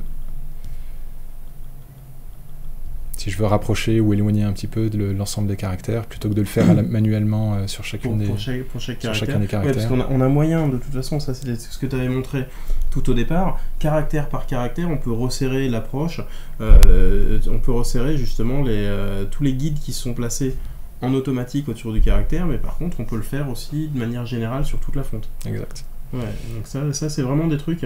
Euh, n'hésitez pas euh, à, regarder un petit peu comment fonctionne FontSelf, euh, parce que justement, ça va vous donner une bonne, une bonne prise en main. Euh, pas, pas, hésiter aussi à aller sur le site fontself.com où il y a tous les, tous les trucs et astuces, euh, comment placer les guides, tout, tout ce qu'on va vous donner là euh, rapidement sur le live, vous allez pouvoir le retrouver de manière écrite avec des petits, des petits tutoriels, etc. Et en fait, même dans l'extension, donc là c'est typiquement le, site d'aide où on, répertorie un petit peu toutes les informations. Mhm. Et un élément aussi, c'est que si vous avez une question, donc on a euh, l'aide en ligne, on a aussi une communauté, donc un, forum où euh, bah, si vous avez des questions assez spécifiques ou même regarder un peu euh, les problèmes qu'ont les autres, bah, n'hésitez pas à nous poser des questions. Et en fait, comme on voulait vraiment qu'on puisse bah, vous aider au plus près une fois de, votre, de votre travail, tiens, je vois juste une question, c'est une version démo. Alors on n'a pas, de, on pas de démo, un trial qui soit accessible. donc, donc voilà, il, faut, il faut être convaincu, euh, je l'espère, euh, avant de pouvoir. Il faut être convaincu juste, à, juste à l'oral. Et euh, moi, je vous confirme, en gros, pour l'utiliser régulièrement quand il y a des tout petits besoins, des trucs comme ça, si vous avez un jour eu à faire de la typo, n'hésitez pas c'est les yeux fermés et en plus c'est pas très très cher hein. quand on va sur le site de foncel.com vous vendez ça à 49,99 c'est ça? Alors on est à 49, euros euh, et, on a aussi une offre euh, une offre éducation pour les euh, pour les, écoles les étudiants et les profs. Mhm. donc voilà la surprésentation d'un d'un bon, donc voilà, on a, on a vraiment essayé de faire quelque chose qui était, qui était accessible à partir du moment où on a un usage euh, professionnel ou qu'on a vraiment envie de se, former là-dessus. Donc euh, juste par rapport au pricing, donc c'est un, un, un, achat unique, donc il n'y a, y a, pas de, a pas de système d'abonnement. Vous achetez l'extension une fois et, euh, et, ensuite on vous on délivre les, les, mises à jour de manière gratuite. Mhm. Donc Font Self, la première version Illustrator a été lancée en début 2016. Donc voilà, ça fait deux ans qu'on continue d'apporter des nouvelles fonctionnalités. Donc récemment, c'était le support du kerning, des alternates, des, ligatures, donc des choses dont, je vais parler maintenant aussi. Euh, l'arrivée des, polices en couleur été quelque chose que, que les gens attendaient. Donc voilà, on, va continuer à délivrer euh, des, mises à jour pour, euh, pour vous rendre la vie encore plus simple au niveau de la, création et vous permettre de découvrir aussi des choses qui, qui, sont, qui, sont, qui sont assez intéressantes. Peut-être juste pour revenir sur la, sur la finalisation, le travail, je ne sais pas s'il y avait d'autres questions, mais Sinon, sur le, sur le travail du lettrage, euh, avant même de vous montrer euh, peut-être comment euh, rajouter d'autres symboles, voici, on va faire ça. Je vais vous montrer peut-être les, symboles, comme ça on, y va de manière granulaire. Mhm. Mais en fait, quand vous travaillez sur, sur votre lettrage, vous êtes à peu près content, vous voulez peut-être commencer à rajouter des, des symboles. on va commencer par la ponctuation. Comme je disais tout à l'heure, il y a une manière qui est simplement de dire, bah, tiens, je vais prendre mes points, points, virgules, je les glisse dans l'extension, et je vais les renommer euh, manuellement, le point et le point virgule. Euh, bah, c'est suffisamment rapide, donc on, peut le faire, euh, on peut le faire comme ça à la mano. Mais bon, comme on est un peu des fainéants chez FontSelf, on aime bien essayer d'automatiser un maximum les, tâches. on s'est dit que voilà, on, peut, on peut automatiser. Donc là, en faisant typiquement le batch, je vais importer tous mes caractères. Mais quand on fait ça sur, euh, sur euh, un grand ensemble de caractères, ça peut prendre un, certain temps. Mhm. Et des fois, alors il y a, y a, certains graphistes euh, comme moi qui, qui sont assez voilà qui, qui, font qui étalent qui étalent leur travail qui ne nomment pas leurs fichiers qui, qui ne nomment pas leur calque et tout donc c'est une manière de, de travailler mhm. mais j'ai découvert qu'il y avait aussi plein de graphistes très consensueux et aussi pour s'y retrouver qui, qui prenaient le temps de, de renommer leur calque de renommer leur leurs objets. Et on s'est dit que là, il y avait peut-être une manière de, ben de, de, gagner du temps euh, pour, le, pour le créatif. Et typiquement, en fait, d'utiliser des fonctionnalités qui, qui, sont présentes déjà dans Illustrator pour qu'il n'y euh, ait pas besoin de, se recoltiner ça dans, dans FontSelf. Et l'exemple, il est, il est, très simple, c'est que, euh, par exemple, tous les, tous les caractères de, ponctuation, si, je, si je, les, je les renomme, donc là je vais aller chercher en fait, localiser le, l'objet. Donc là, je vois. T'as la, la, petite loupe si tu as besoin. Qui permet ah, d'y accéder direct. C'est génial. Bah, quand, vous avez besoin, ouais, si, vous êtes, euh, si vous vous dites un jour que vous devez travailler sur vos calques Illustrator et que vous avez planqué plein de petits trucs, tout en bas de, du, du, panneau calque, vous avez une toute petite loupe, donc vous sélectionnez, bah là on a retrouvé la virgule super facilement, mais euh, voilà, le point, le point d'interrogation, il serait pareil, petite loupe, et hop, il vous le sélectionne dans le panneau calque. Ça, c'est une nouvelle nouveauté 2018 ou euh, non, c'est une nouveauté 88. Euh, ok, bah voilà. Je découvre. Il ah, faut, bien qu'on leur montre des trucs aussi. Bah, c'est ça qui est cool, c'est qu'on apprend tous les jours. Et du coup, l'idée, c'était de se dire, bah voilà, par défaut, mes, mes, les objets que j'ai créés n'ont pas un nom spécifique. Mhm. Donc là, je vais simplement le renommer. Donc je peux soit double-cliquer là-dessus, soit même le faire directement là dans l'interface. Et du coup, je vais euh, réassigner chacun des, des caractères aux différentes formes. Donc là, je vais remettre mon point d'exclamation, point d'exclamation, point d'interrogation. J'ai consciemment euh, évité le, les trois points parce que je suis pas certain de savoir comment d'avoir le, raccourci clavier en tête. Alt point. Alt point. Alt point, ça marche, vas-y. Alors alt point. Euh, alt euh, point, virgule. Alt point virgule, super. donc voilà, du coup, l'idée c'est que je vais, je vais faire le, le, boulot une fois euh, sur mon. Alors je suis sur mon sur l'ensemble de mon de, set, de mon set. on, va, s'arrêter là. Et du coup, voilà. Là, j'ai renommé mes trucs, donc je peux sauver mon document. Et, euh, et si tout d'un coup, je vais devoir réimporter plusieurs fois le, les, caractères. ça va être assez pratique. Et donc, du coup, FontSelf, au moment où je vais faire un batch, va euh, de manière super intelligente, euh, se dire ah tiens, euh, tu as, nommé ton, ton, objet, donc je vais utiliser cet objet-là. Utiliser le nom du calque directement et on retrouve tout de suite. Ah c'est super ça. Donc du coup voilà, j'ai, euh, je m'évite en, en, fait en, travaillant, en, clignant un petit peu mon, mon, mes, mes, calques et en nommant mes, chacun des, des objets dans, dans, le panneau, ça va permettre de, ben, de, s'abstraire, de, de, faire une partie du boulot ensuite dans, dans Font Self. Quoi. D'accord, bah c'est cool. Alors il y a Daniel qui nous demande, euh, Franz, si là les symboles sont déjà créés, est-ce que tu pourrais nous montrer rapidement comment créer un symbole euh, depuis le départ? Par exemple, lui il cherche copyright ou une arrobase. Ouais. Euh, bah, vas-y, n'hésite pas. Et, je vais faire juste un, tout petit interlude parce que j'ai reçu la, confirmation que j'attendais tant de, de, Mohamed qui était derrière en ligne.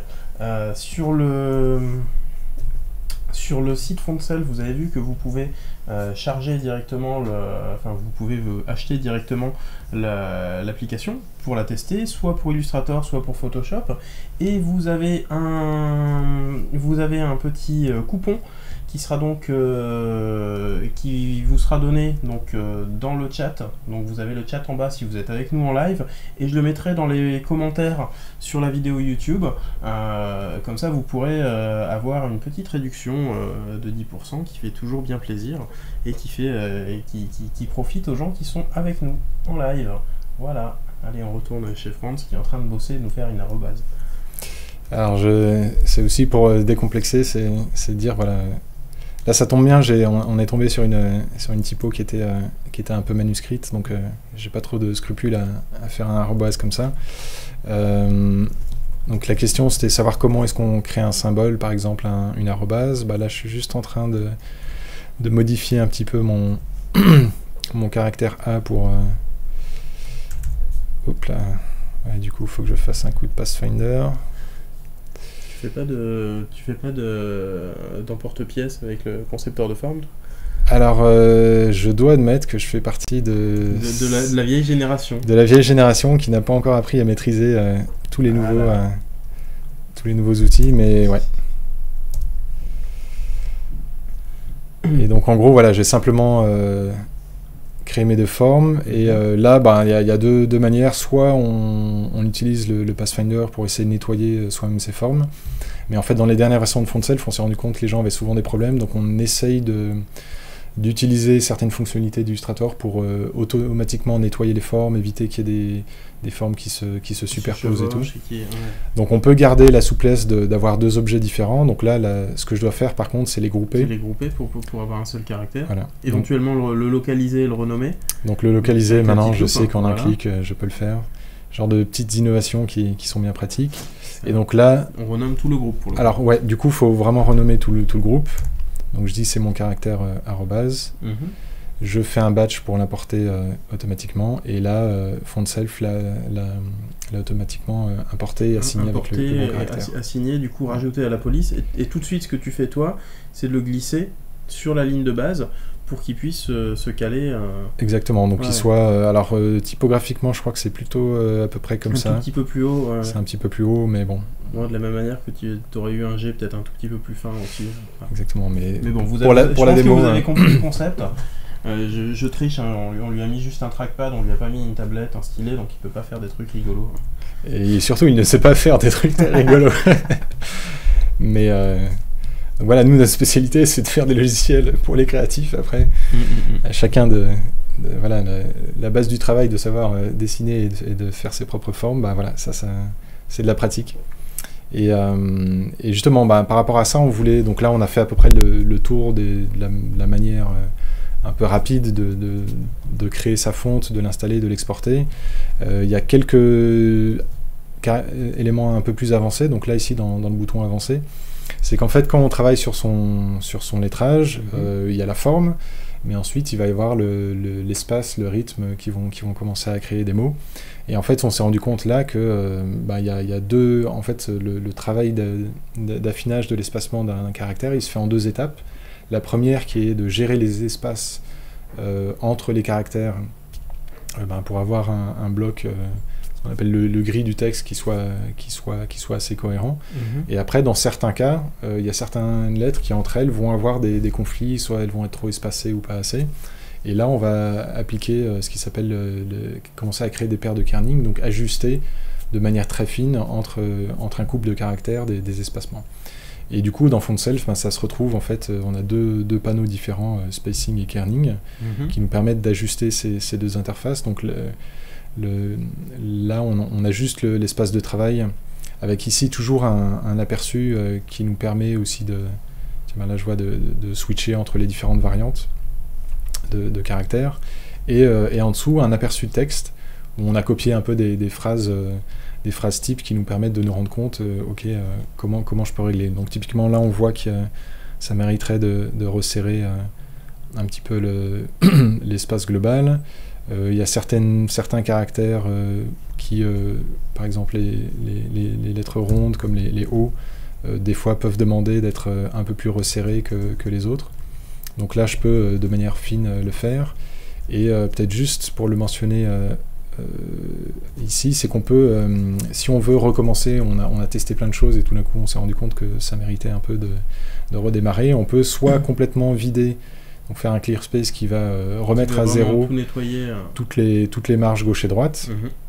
On peut de faire, demander de faire un auto space et euh, là en fait c'est ce qu'on fait par défaut, c'est qu'on rajoute en gros une petite unité sur les marges à gauche et à droite et là on peut même définir exactement l'unité qu'on veut rajouter des deux côtés.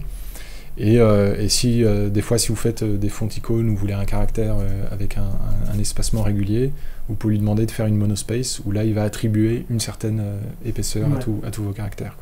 c'est vraiment super. Donc là, voilà, on, on, essaye de régler en fonction de, de, certains mots, euh, d'ajuster un petit peu les, les, valeurs. On peut rentrer à nouveau les, les, valeurs de manière euh, numérique ici.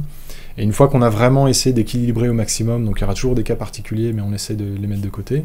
Une fois qu'on est à peu près content sur cette, cet espace global, on va passer dans le kerning, qui lui est vraiment une tâche beaucoup plus bah, qui demande beaucoup plus d'attention sur le détail. Oui, parce que du coup, on va, on va taper le plus de mots possible et euh, regarder justement comment chaque paire se met en place. Alors oui, pour ceux qui se demandent, euh, qui, se posent la question et sont jamais rentrés dans la typo, euh, qu'est-ce que c'est que le kerning? Donc c'est vraiment c'est l'approche, c'est le positionnement des espaces entre, euh, entre les caractères et c'est ce qui fait que vous allez réussir à lire vos caractères. Il y a certaines typos sur lesquelles euh, vous allez galérer parce qu'à chaque fois vous trouvez que le 1 il est toujours un petit peu trop éloigné par rapport à ce qu'il devrait être. Et bien là typiquement un, un, vrai développeur de fonte aurait passé le temps pour régler ça correctement et pour vous faire un beau travail voilà, léché entre deux caractères pour que ce soit vraiment super propre.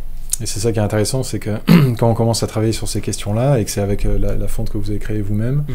vous allez vraiment commencer à vous poser toutes les questions qu'un type designer euh, se, pose et, euh, et, sur lesquelles souvent il passe des mois, voire des années. Mhm. C'est que affiner une, une, fonte, ça peut être, surtout si on veut qu'elle soit utilisable par tout le monde, ça peut devenir un, un, gros boulot. Mais en même temps, après, c'est à vous vraiment de, savoir euh, où vous en êtes avec euh, votre projet. Est-ce que c'est quelque mm. chose que vous, vous, faites euh, de manière très spontanée sur un projet spécifique, sur des mots que vous maîtrisez? Je sais pas, un, mm, projet d'édition par exemple, et vous savez. vous, allez savoir ce que vous avez dessus. Et, moi, moi, je pense a typiquement, enfin, vraiment, le, cas qui m'est venu tout de suite quand, quand FontSelf a été mis en place, c'est vraiment le design d'un poster on se dit bah ouais mais là c'est bon j'ai mon poster pour euh, le mois de novembre 2017 on a euh, tel ou tel artiste. Et là vous invitez un artiste euh, finlandais suédois ou autre. Et là vous vous rendez compte que vous n'avez pas tous vos caractères. Il faut les refabriquer faut les re-rajouter vous avez une annulation faut changer un petit peu tout ça à faire à la main dans Illustrator, c'était pas forcément simple, ça prenait pas mal de temps. Une fois que vous avez votre typo et que vous pouvez la mettre en place, là typiquement sur le kerning, entre le V et le A, c'est la, paire la plus classique. C'est la paire de l'avant-garde. Voilà, V, A, V, hop. Donc là, typiquement, ce peut-être juste un ou deux tuyaux sur, euh, la manière de, de, gérer les espaces. En fait, ce qu'on essaye de faire, c'est de créer un rythme qui soit régulier entre euh, tous les caractères c'est ce qui va faire en fait qu'une police n'a pas l'air de, danser dans, tous les sens, mm-hmm. c'est qu'il y aura une certaine uniformité. Euh, après voilà, ça, ça, ça, va, ça peut créer aussi un style d'avoir quelque chose qui, euh, qui, va commencer à bouger. Donc là encore, c'est vraiment à vous de après, après, voilà, d'ajuster. Euh. On, peut déstructurer, on peut déstructurer à la main, mais ce sera. C'est bien d'apprendre déjà à, savoir les, les choses. connaître les règles pour mieux les pour mieux les, les, les détruire après. Et c'est pour ça que typiquement sur la partie kerning, donc là typiquement le, ce qu'on essaye de résoudre, le problème qu'on essaie de résoudre avec les, paires de kerning, c'est ce qui se passe ici avec le, VN. où, où, des lettres vont avoir un, espacement qui est plus important que, pour les autres. Donc ça peut être pas mal aussi d'avoir... là typiquement on voit que l'espacement que j'ai entre les deux N et, entre le A, il y a une sorte d'uniformité dans, le blanc qui est entre ces caractères. Et on aimerait avoir cette même uniformité avec le A. Donc là, c'est simple, il suffit en fait de cliquer sur le caractère euh, dans, l'aperçu ici, de glisser un petit peu la marge, et là, on voit directement le, en fait, la on, valeur. On fait une correction, euh, donc je peux le faire soit de manière, euh, de manière visuelle comme ça, soit directement par chiffre. On peut rentrer les, valeurs par chiffre, et en fait, ben, comme dans Illustrator, on peut utiliser aussi les flèches du haut ou du bas pour, ah, pour incrémenter, décrémenter. Donc ça sera vers le haut et vers le bas quand on est sur le, ici sur le, dans le tableau. Mais si je vais sur ma vue, euh, sur ma vue ici, euh, vu que je fais une translation euh, horizontale, ben, je peux faire avec le Shift gauche, Shift droite ah, sur les, flèches du clavier. D'accord, donc on n'est même pas obligé de re-rentrer dans ce tableau si on est, voilà, si vous êtes plutôt comme moi le, au clavier et surtout de manière contextuelle sur l'endroit où vous bossez, c'est vrai que ça va être super, ça va être vraiment très pratique. Du coup, pendant ce temps-là, sur le chat, les gens discutent et me disent mais comment on fait pour faire des caractères comme par exemple le E dans l'eau? Euh, Est-ce que c'est une ligature? Euh, Non, le E dans l'eau, c'est le code Unicode 0153. Est-ce que tu peux nous montrer une ligature?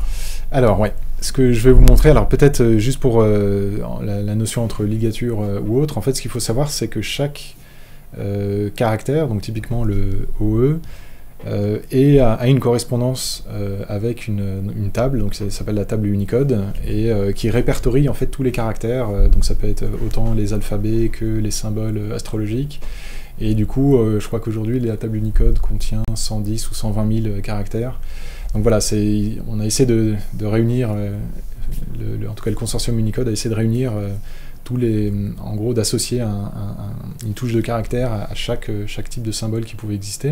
Mhm. Euh, et, en fait, ce qu'on qu'on disait tout à l'heure, c'est qu'en fait, dans font self, on peut assigner euh, n'importe lequel de ces caractères à une forme qu'on importe.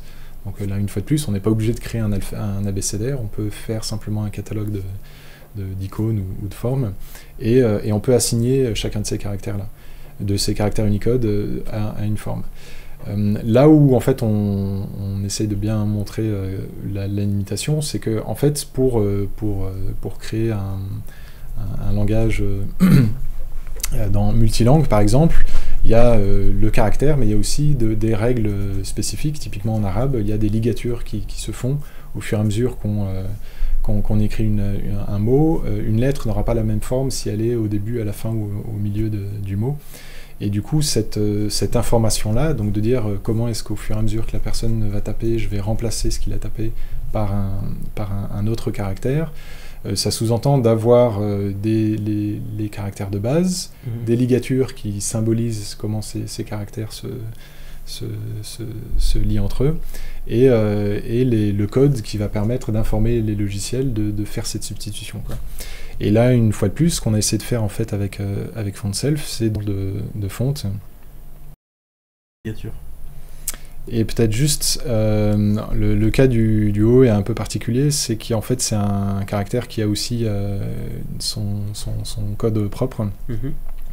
Donc du coup là, juste pour revenir vraiment à cette question du, du OE, la manière la plus simple, ben, je peux le, Là encore, une des manières, c'est de glisser-déposer les, formes. Donc là, je l'ai simplement importé.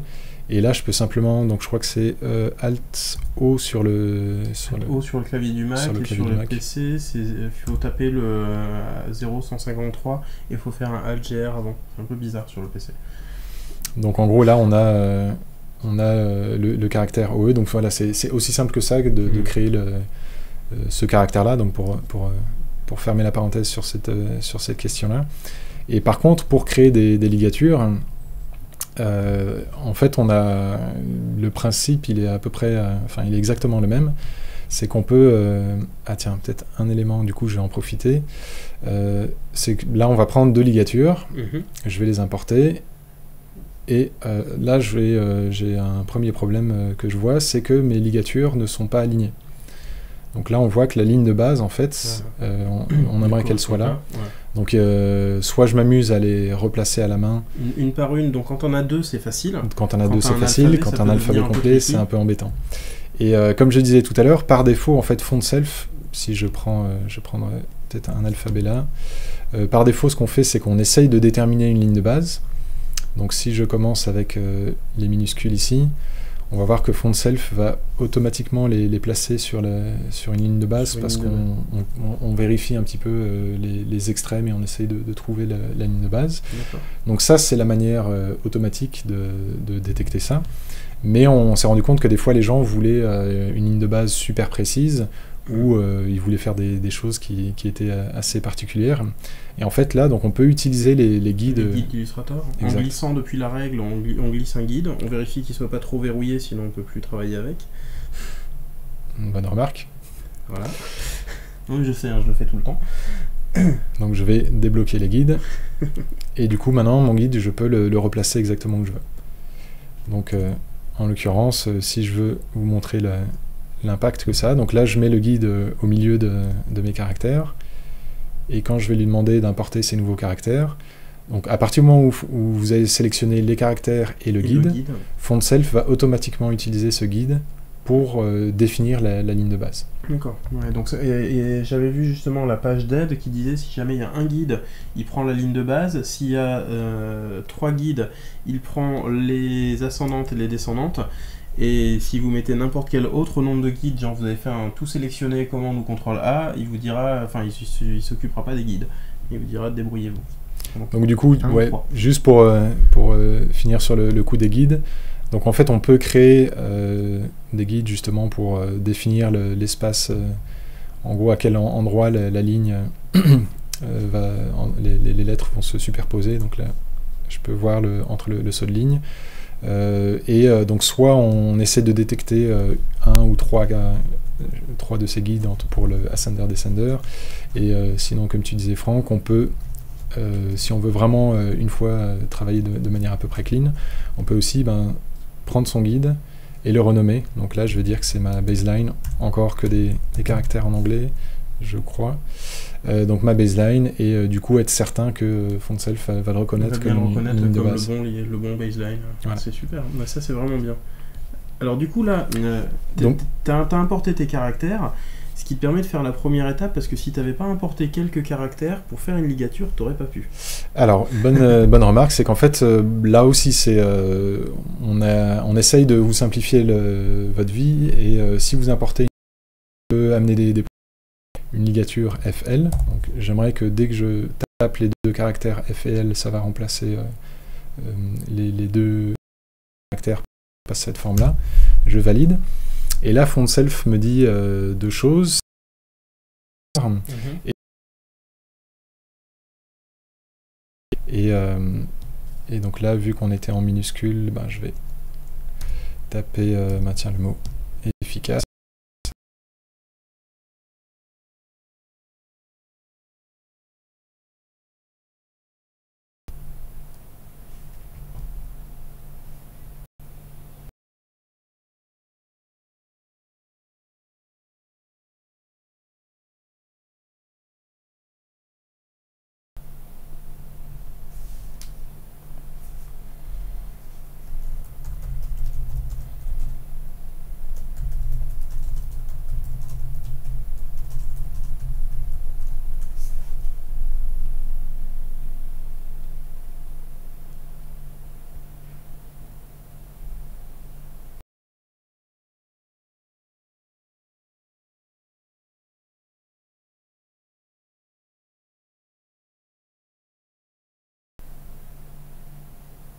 Ok, j'ai plus de réseau.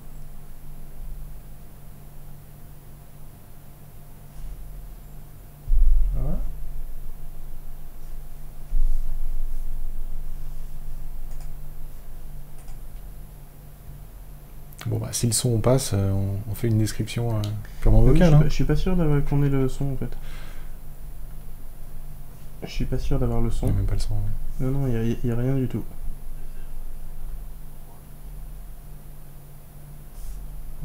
Pas de son. Vous nous entendez et vous, nous voyez, mais est-ce que, vous est-ce que c'est en temps réel Combien j'ai levé de main Dites-moi si vous voyez euh, combien j'ai levé de main et dites-moi si, euh, si ça passe. Ah, on entend les réseaux, on entend les micros, on entend Franck, le réseau, le flux a l'air bon. Ici, il passe. Est-ce que lui s'est rendu compte que ça passait? Ok, le son passe. Le son passe. Et, bien. et la vidéo Est-ce que la vidéo Les deux mains, vous avez vu les deux mains Bon bah. Quel caractère sélectionné C'est fluide, c'est cool. Ah bah non, c'est bon, on est de retour. On est de retour, on est plus mauvais en diffusion. Bon, on a passé midi, mais ça c'est pas très très grave. Mains, cinq doigts. Eh, vous êtes pas sûr hein Ok. Eh bien, c'est reparti. Bonjour à toutes et à tous, ceux qui auraient euh, manqué l'écran de ratage du milieu, hein, voilà. Euh, content que vous soyez revenus. Euh, si vous nous aviez lâché, cherché, perdu, etc. au milieu, eh bien on est toujours là. Je vais vous faire juste un passage d'écran, je vais vous dire pourquoi, je triche. Je vous remets un petit peu la, je vous remets un peu la fonte de Gilbert que j'adore et que je trouve vraiment cool. Parce que quand je vais tenter de refaire le montage tout à l'heure pour couper notre interruption, ça me permettra de bien visualiser cet écran et de pas me galérer. Allez, je repasse sur l'écran de France et on reprend sur les ligatures. Mais du coup, sur les ligatures, bah, je pense qu'on a, on a un peu compris le truc. Euh, vu qu'on a bien avancé, est-ce que tu penses que ce serait pas une mauvaise idée de parler un peu de couleur et un peu de Photoshop? On va parler un peu de couleur. Alors je passe direct dans, Photoshop pour vous montrer justement un, autre aspect de, création typo. Euh, c'est que ben, voilà, quand on fait du, lettrage, ben, souvent on, griffonne des idées, euh, y compris sur papier. Euh, là, je prends un exemple de, quelqu'un qui avait travaillé vraiment avec de, de l'aquarelle sur, sur du papier et était venu avec ce projet. On s'est dit, tiens, ça serait intéressant de voir comment on peut, là vraiment de manière très, très rapide, euh, essayer de, convertir ça en, fonte. Et donc ce qu'on a fait avec euh, Font Self pour Photoshop, c'est la même chose. Donc c'est, euh, je retrouve l'extension Font Self dans, dans Photoshop, mais qui a une subtilité, c'est qu'elle permet toujours de créer des, polices vectorielles. bon, là en l'occurrence la subtilité c'est qu'il faut utiliser un calque, un calque de, forme. Et, donc voilà, je peux, je peux créer mes, mes fonds de vecto directement depuis Photoshop. Alors on recommande évidemment de, passer par Illustrator parce que c'est beaucoup les outils et l'environnement sont beaucoup plus adaptés à créer la, la police euh, vecto, mais c'est euh, une, possibilité. En, tout cas, c'est possible. C'est possible pour les. En tout cas, c'est possible. pour ceux qui le souhaitent. Pour, les gens qui auraient besoin de faire une fonte euh, bitmap sur laquelle, bah oui, le, vecteur va avoir énormément de mal à reprendre bah, toute la fluidité du pinceau, les petites accroches de matière, de, de caractères, de couleurs. Là, dans Photoshop, il n'y a pas photo, c'est vraiment l'outil à utiliser. Exact. Et en fait, ce, qui est intéressant, donc là, on a juste fait une photo dans, une cave, donc vous voyez, à, l'origine, ça, manque de contraste, c'est, pas top. Mais pour montrer que même si la, source n'est pas nécessairement idéale, on peut quand même commencer à, prototyper. Là aussi, euh, si on n'a pas un scanner, ben, on peut commencer à tester et prototyper quelque chose assez rapidement. Donc là, ce que je dois faire, euh, alors ami euh, pro de Photoshop, vous avez certainement tous, chacun sa méthode pour, pour détourer un lettrage. Euh, là, je vais faire un truc très simple, c'est que je vais simplement prendre le, la sélection, la, baguette la fameuse baguette magique, et, euh, et lui demander euh, de, se débrouiller pour faire le, reste. donc dans mon layer, j'ai un trou de mémoire. Un new layer from selection. attends. Il est où le est-ce que tu veux inverser le, ta le, Remplir Remplir Non, je, veux faire le, qu'il fasse le... Un calque Qu'est-ce que... Alors, une grande question dans le chat, qu'est-ce que Franz est en train d'essayer de faire? Il est en train de, de, de, retrouver euh, ces, menus euh, Photoshop. Qu'est-ce que je voulais faire? En fait, le, la fonction de masque. Euh, ah, alors du, coup, ça va être Select un masque qui est, qui est arrivé là dans la 2018. Ah, il, est plus dans le menu. Ouais, il est plus dans le menu parce qu'il nous fait des trucs beaucoup plus cool. Donc pour ceux qui connaissaient pas effectivement euh, Select un Mask, plutôt que d'avoir euh, directement votre, euh, votre sélection et vous allez retrouver, vous allez faire des, bouts de retouche partiels uniquement dessus. Select and Mask, ça vous permet de retrouver tout ce qui est outils de sélection et surtout d'avoir des choses comme par exemple Invert là-dedans, de visualiser du coup votre rendu directement sur les calques, pour vous assurer que tout s'est bien passé, de voir du blanc, du noir, etc. Euh, directement en dessous de votre contenu pour faire votre extraction. Et surtout, si vous en avez besoin, vous pouvez directement aller là-haut au pinceau et avec le pinceau nettoyer des parties qui seraient euh, pas tout à fait, euh, pas tout à fait clean. Donc non, pas de dessin de poney pour aujourd'hui, juste un caractère ou l'autre. Et quand on a fini donc notre sélection, parce que finalement ça s'est plutôt pas mal, pas mal passé, on peut tout simplement lui dire ok, tout va bien, et on va ressortir et on va pouvoir extraire. Alors moi ce que je faisais aussi c'était dans le menu calque, dans layer pardon, new, donc nouveau calque, et tu peux faire une layer from selection je crois. Euh, en général moi je fais simplement... Euh, ouais, ou tu fais un masque, c'est très bien. Le masque ça suffit. Hein. Qu'on aurait même pu faire à l'étape d'avant, mais ça permet, euh, ça permet éventuellement de revenir en arrière si on a, si on a des scrupules. Tout à fait. Mais du coup, voilà, juste pour montrer que euh, avant d'arriver à, sortir nos, lettres, donc euh, idéalement, il faudrait faire la, même chose euh, au-dessus. Ouais, retrouver la même balance, retrouver un peu le même équilibre. Donc là aussi, cet exemple était vraiment fait pour montrer que voilà, on peut, je on peut faire ça de manière assez assez brutale, assez brutale, assez rapide, mais ça permet aussi d'avancer justement, de, tester une fonte avant de, de, passer des heures à la à bien la détourer pour se rendre compte est-ce que ça, ça, ça, a le mérite de, fonctionner. Donc ensuite, bah, mhm. voilà, je vais simplement fusionner ça. J'ai mes formes, si j'ai du bruit derrière, c'est pas très grave. Et euh, là, donc aujourd'hui à la mano, ce que je vais faire, c'est que je vais faire euh, commande J, qui en fait va dupliquer, dupliquer le calque dans la sélection en tout cas. Euh, un, des éléments qui est toujours pratique aussi, c'est lui demander d'afficher uniquement le... les contours de la, les limites du calque ce que vous n'utilisez pas quand vous avez besoin de savoir où sont placés vos éléments, mais quand vous commencez à faire de la typo, vous êtes super content qu'il vous, les, vous affiche chaque caractère en grand, ça vous évite de les rechercher. Donc en gros voilà, ce que j'ai fait là, c'est que j'ai simplement euh, détouré chacune, chacune de mes lettres, mhm. euh, et je vais faire ça pour l'ensemble pour de l'alphabet. Ici on va, on, va, se contenter du Y et du Z, hein, je pense. Et je pense que vous aurez compris le, processus, et en gros au final je vais me retrouver avec... Euh, des, des, caractères qui sont qui sont tous détourés, qui sont chacun sur un calque différent. Tous détourés. Là, j'avais, euh, il y a peut-être une subtilité, c'est qu'on voit qu'il y a une certaine transparence dans les lettres. Hmm. Donc là, en fait, quand vous faites l'extraction avec le, menu euh, mask and le, mask and replace, mask and replace euh, on peut jouer avec le, raffinement pour obtenir ce, genre de, transparence. Et, voilà, tout ça pour montrer que voilà, le, gros du travail, ben, c'est quand même, ça reste à vous de, le faire sur, la, sur la créativité. Mais une fois que vous avez isoler chacun des caractères sur un, sur un calque différent. Donc là, ils sont déjà tous présélectionnés. Euh, le workflow, il est, c'est la même chose que, que dans Illustrator. Donc il faut sélectionner. Donc là, je, euh, je sais que par défaut, le, système est un peu différent, mais là, je fais du contrôle-clic euh, pour détourer, la, sélectionner tous les calques en même temps. Je crois que c'est un comportement qui est, qui est par défaut maintenant. J'ai jamais fait gaffe à celui-là. Mais en gros, enfin voilà, là c'est la même chose. Je sélectionnais tout mon, tout mon ABCDR, je lui demande de, traiter le A à Z. De traiter le A à Z.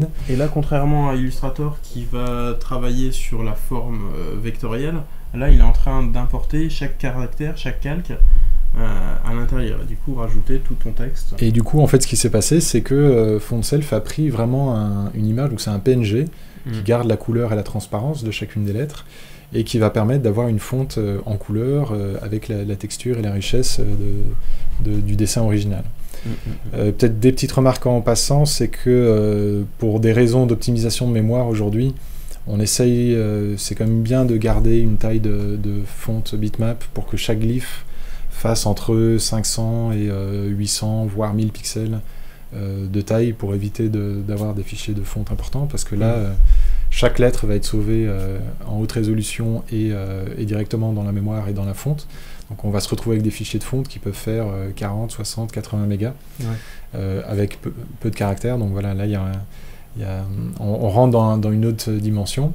Mais le gros avantage, c'est que voilà, une fois que j'ai créé ma fonte, euh, peut-être juste une remarque, c'est que la version Photoshop est encore très basique, donc elle, en fait on est en train de, de travailler sur la version 2 euh, de la version Photoshop. Et normalement, d'ici Noël, on aura une bêta où en fait toutes les avancées qu'on a montrées dans Illustrator, donc le support des alternates, des ligatures, euh, est intégré. Euh, et, du coup, on pourra faire avoir la même souplesse de, travail dans, sur des fontes bitmap et des fontes vectorielles. Mmh, mmh, mmh. Et, et, le reste, ben, il est relativement simple. C'est que du coup, je vais appeler, je vais sortir ma fonte couleur. Et euh, là, ce qui se passe, c'est que Photoshop n'a pas malheureusement pas encore de, dossier qui permet de, mettre à jour et surtout de, faire l'install. Hein. De faire l'install euh, automatiquement. Donc il faut encore euh, de manière manuelle aller, aller installer le, fichier de fonte. Et sans rentrer vraiment trop dans la, dans la technique, en fait, on utilise plusieurs technologies de fonte qui mhm. permettent typiquement bah, à la fois d'avoir dans son fond de book euh, une police en couleur euh, qui, euh, qui, qui, va s'installer et qui sera disponible dans, dans la plupart des, des applis. Même un éditeur de texte d'ailleurs. Même un éditeur de texte et typiquement, bah, là je prends l'exemple de, de, Pages. En fait, ce qui se passe, c'est que le, les logiciels Apple permettent d'utiliser déjà ce, ce, genre de, de technologie, Photoshop et autres, mais avec une technologie très différentes. Mmh, d'accord. Donc, en fait, à, chaque fois, tu as une génération d'un format de fond différent, mais c'est transparent pour l'utilisateur. Exactement. Sur tout ça. Et, euh, et, du, coup, euh, du coup, ce qui permet d'utiliser ces fontes-là, donc ils sont vraiment des fontes euh, bitmap. Donc là, on voit, on a, on a la texture, on a le grain, on a la couleur. Mais ça reste un fichier de, police. Je peux taper mon texte, sélectionner, copier-coller. Mmh. Très bien. Alors j'ai la question d'un mec qui fait un peu de vidéo qui demande est-ce que les bitmap, bitmap fonts sont supportés notamment par Premiere ou After Effects? Alors malheureusement pas encore. Il euh, faut savoir que donc le, la première, le premier logiciel à supporter ces fontes euh, couleurs, qu'elles soient bitmap ou, Vecto, c'était Photoshop l'année passée. Mhm. Euh, cette année, c'est autour de Illustrator et InDesign. Euh, enfin, non, donc euh, euh, Illustrator qui supporte la couleur et InDesign qui le fait, mais de manière en preview. Donc là, une question sur la techno, c'est des. en fait, il y a, y, y a, plusieurs formats de, de fontes, donc ça mhm. reste toujours des, des, fichiers de fonte OpenType. Mais. Donc. OpenType SVG est vraiment le, format qui, qui, permet ce genre de choses, d'intégrer du bitmap et, du, et de la couleur vectorielle. Du coup, c'est euh, dans les applis Adobe, euh, on, supporte euh, dans les applis Mac, on, supporte ça, et dans Photoshop, ben, c'est relativement simple. Une fois qu'on a installé la fonte, je vais taper du texte. J'avais une autre fonte de démo. Et donc c'était comment est-ce que je l'avais appelé? Couleurs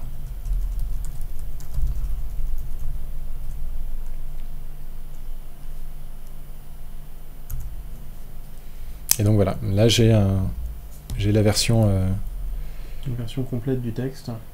Que je peux, euh, ben, comme, comme n'importe quel objet texte, euh, éditer, remodifier. Mm, mm. Donc du coup voilà, en utilisant font self, enfin il y a deux usages spécifiques de, de font self, un qui est dans un environnement vectoriel Illustrator qui est vraiment adapté, et quand on veut créer des choses qui ont, qui ont une sensibilité visuelle, des textures, peut-être euh, remontrer quelques exemples en, live.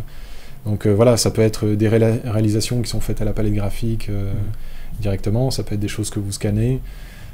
après voilà, c'est juste un médium et c'est à vous aussi de, vous l'approprier de, de, manière, intéressante. Et, c'est vrai qu'une des choses que tu mentionnais, c'est qu'on est assez friand quand vous faites des, des projets qui, donc soit un projet graphique, soit uniquement une, une fonte, de pouvoir éventuellement la taguer euh, avec le, mm. hashtag FontSelf, comme ça, ça nous permet de, de, les, de les répertorier et de les mettre en avant. Et, euh, et ouais, c'est quand même super cool de, de voir à quel point il euh, y, a, y, a, donc un lien pour voir les fontes en couleur. Euh, donc euh, c'est font, color font made with font self. C'est un petit lien sur leur Behance et euh, à chaque fois que vous allez utiliser le hashtag font self ou vous allez lui ou vous allez l'utiliser dans la description de vos projets Behance, vous pourrez retrouver ces, ces contenus là. Et, et, puis bah, du coup on pourra, enfin en tout cas l'équipe de font self pourra vous mettre en avant sur cette, sur cette page là où vous voyez qu'on a du coup, enfin où vous verrez on a du coup euh, bien du, du, vecto, on a du coup de la typo noir et blanc, on a du coup de la typo euh, aquarelle ou autre. Donc il y a vraiment des trucs très très chouettes dedans. Euh, il n'y a pas encore beaucoup de, de typo icônes hein, dans ce que tu as, proposé. Alors effectivement, c'est, on a eu certains utilisateurs qui ont créé des, des fontes voilà, à base, de, à base d'icônes. Mhm. là, le principe, il est, il est, vraiment le même si je retourne dans, dans Illustrator. J'étais en train de. J'avais un projet, euh, juste la, semaine passée, j'ai fait un workshop à, la fonderie, à la fonderie. de la fonderie de l'image. Et, euh, et, justement, c'était là aussi pour vous montrer. Alors, on, a peu de temps, mais juste pour vous montrer rapidement que euh, ce qui, ce qui s'applique à la typographie peut s'appliquer à n'importe quel type de, type de forme. Donc là, je pourrais me dire, voilà, j'ai créé des versions de, de, logos différentes que peut-être un client aimerait tester sur son sur, son, sur, sur différents layouts. Donc euh, peut-être que vous pouvez euh, associer, ben là, je vais prendre deux versions du logo en, noir et en blanc. je vais les importer dans, dans FontSelf. Et alors tiens, typiquement là, je me rends compte que les, les logos n'étaient pas groupés, donc je vais juste redémarrer et grouper ça. Donc je groupe chacune de ces formes-là.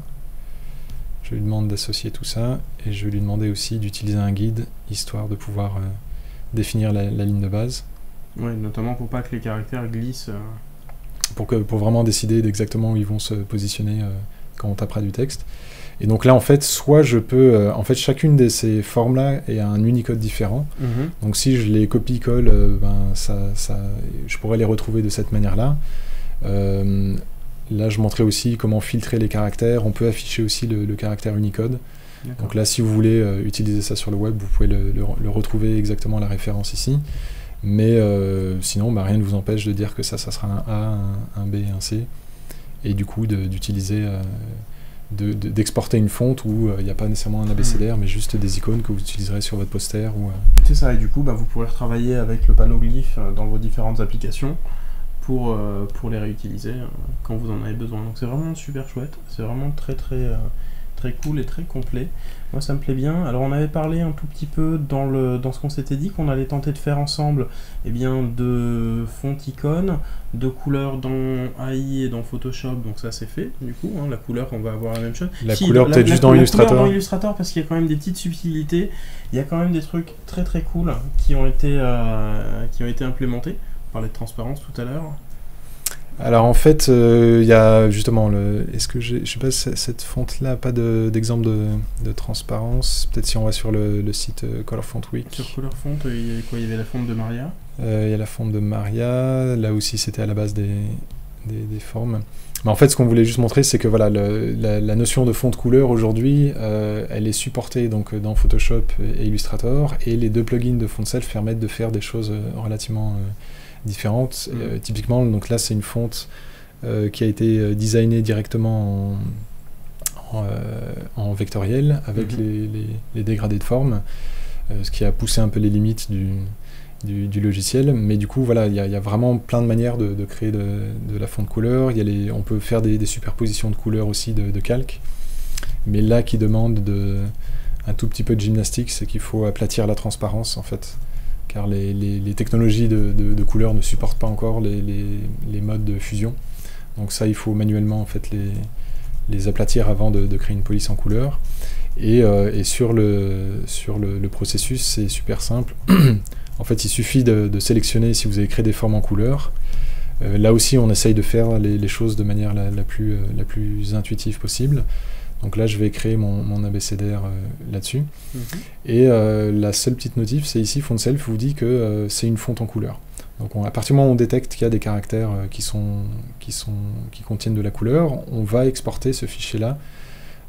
comme on a fait sur Photoshop, on a une, un, format spécifique, donc qui est le format OpenType SVG, qui va intégrer chacune, chacune de ces formes, dans encapsuler ça dans, dans une forme SVG et mettre ça dans le fichier OpenType.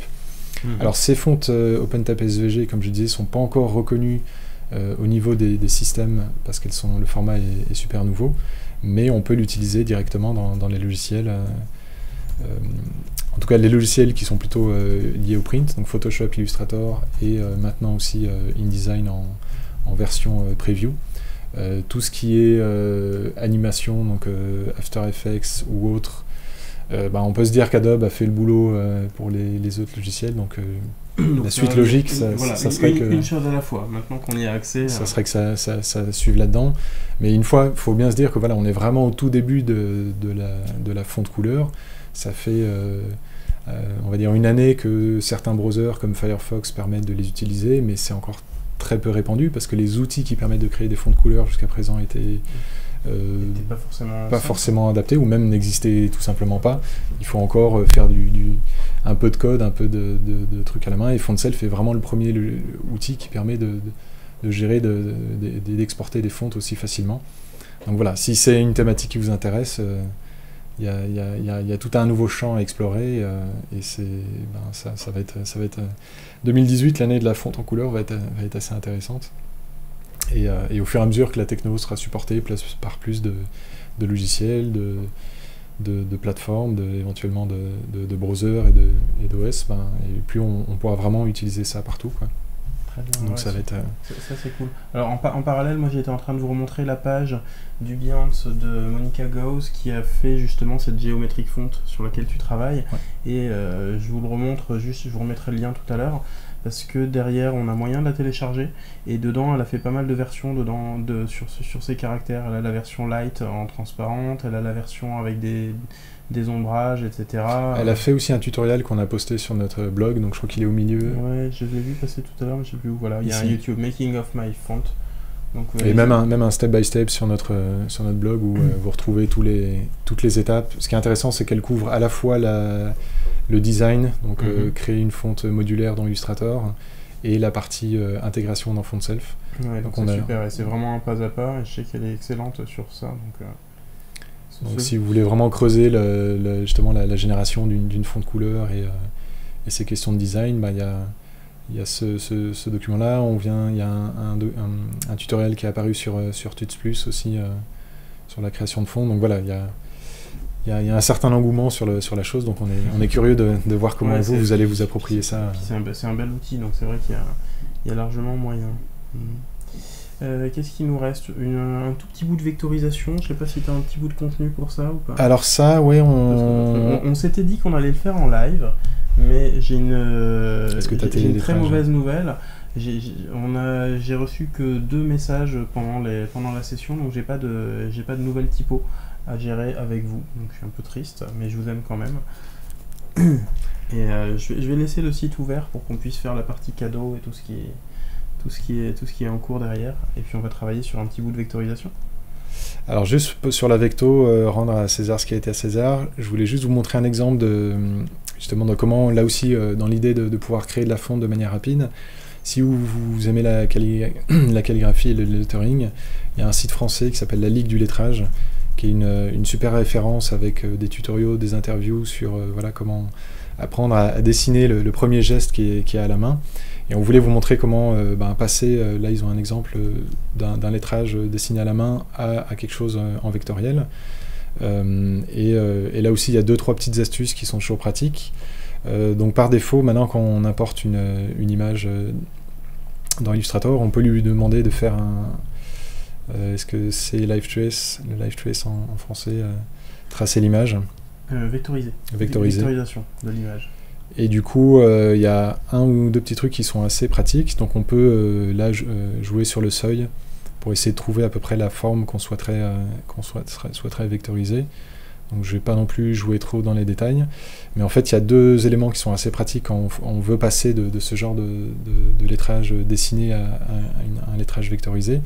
C'est que ben, soit on, veut faire un tracé parfait et on le fait à la plume et, euh, et ça, ça, le mérite pour certains designs. Mais si on veut tester un design de manière assez rapide, euh, on peut aussi, ben, là je fais un commande Shift D qui permet d'afficher la transparence. Ouais, tout ce qui est damier de transparence, comme ça vous vous rappellerez. Commande majuscule D. Commande majuscule D. Et en fait, euh, une option hyper intéressante quand on vectorise, c'est lui demander d'ignorer les blancs. Ce qui va en fait ben, nous permettre de nous retrouver avec un vecto qui est directement euh, clean, enfin en tout cas qui n'aura pas de, de, fond blanc. Mm -hmm. Et euh, ça, fait, ça fait tout son sens quand on, quand on utilise ça après dans, dans FontSelf. Donc je vais lui demander de, de vectoriser tout le, tout le tracé. Je vais lui dégrouper simplement euh, tout cet objet-là pour, pour que chaque objet soit, soit sélectionnable.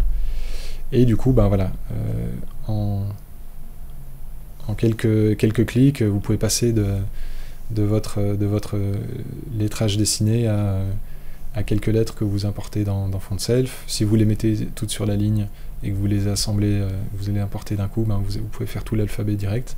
Et ça vous permet là aussi, avant même de, passer du temps à, vectoriser euh, euh, la fonte, bah de, tester sur un petit bout de texte. Est-ce que c'est un, projet qui mérite d'être creusé? Et donc voilà, l'idée avec FontSelf, c'est vous permettre de, bah de, jouer avec la fonte, de, de, vous exprimer le, le, plus, le, plus, simplement possible, avec l'outil qui correspond le mieux avec ce que vous voulez faire. Si vous voulez travailler des, des, formes, des formes propres et, parfaitement, bah, vous, utiliserez plutôt euh, FontSelf sur, euh, sur Illustrator si vous voulez chercher de la texture, de la matière euh, dans Photoshop. Et donc, euh, donc voilà, en gros, un, pour nous, c'est juste un, nouveau médium et, on est curieux de voir comment vous allez, une fois de plus, vous l'approprier pouvoir relayer, relayer l'info parce que il y a énormément de choses à faire avec la, typographie. et donc, donc, voilà, curieux de, revenir en présenter les projets d'autres. c'est ça, ça c'est vraiment cool. Donc bah, merci à tous de nous avoir suivis pour le live. Euh, n'oubliez pas, donc euh, comme on vous a dit, euh, je vous le mets dans les, je vous l'ai mis dans le chat tout à l'heure et je le mettrai dans les commentaires du, du, de la page YouTube de cette session. Il y a un petit, un petit coupon promo sur, la, sur le contenu et surtout en première ligne de la description, il y a le lien pour soumettre vos, vos éléments sur l'alphabet dont je vous avais parlé tout à l'heure. Alors je vais repasser sur mon, mon écran parce que c'est là que j'ai joué un petit peu plus tôt.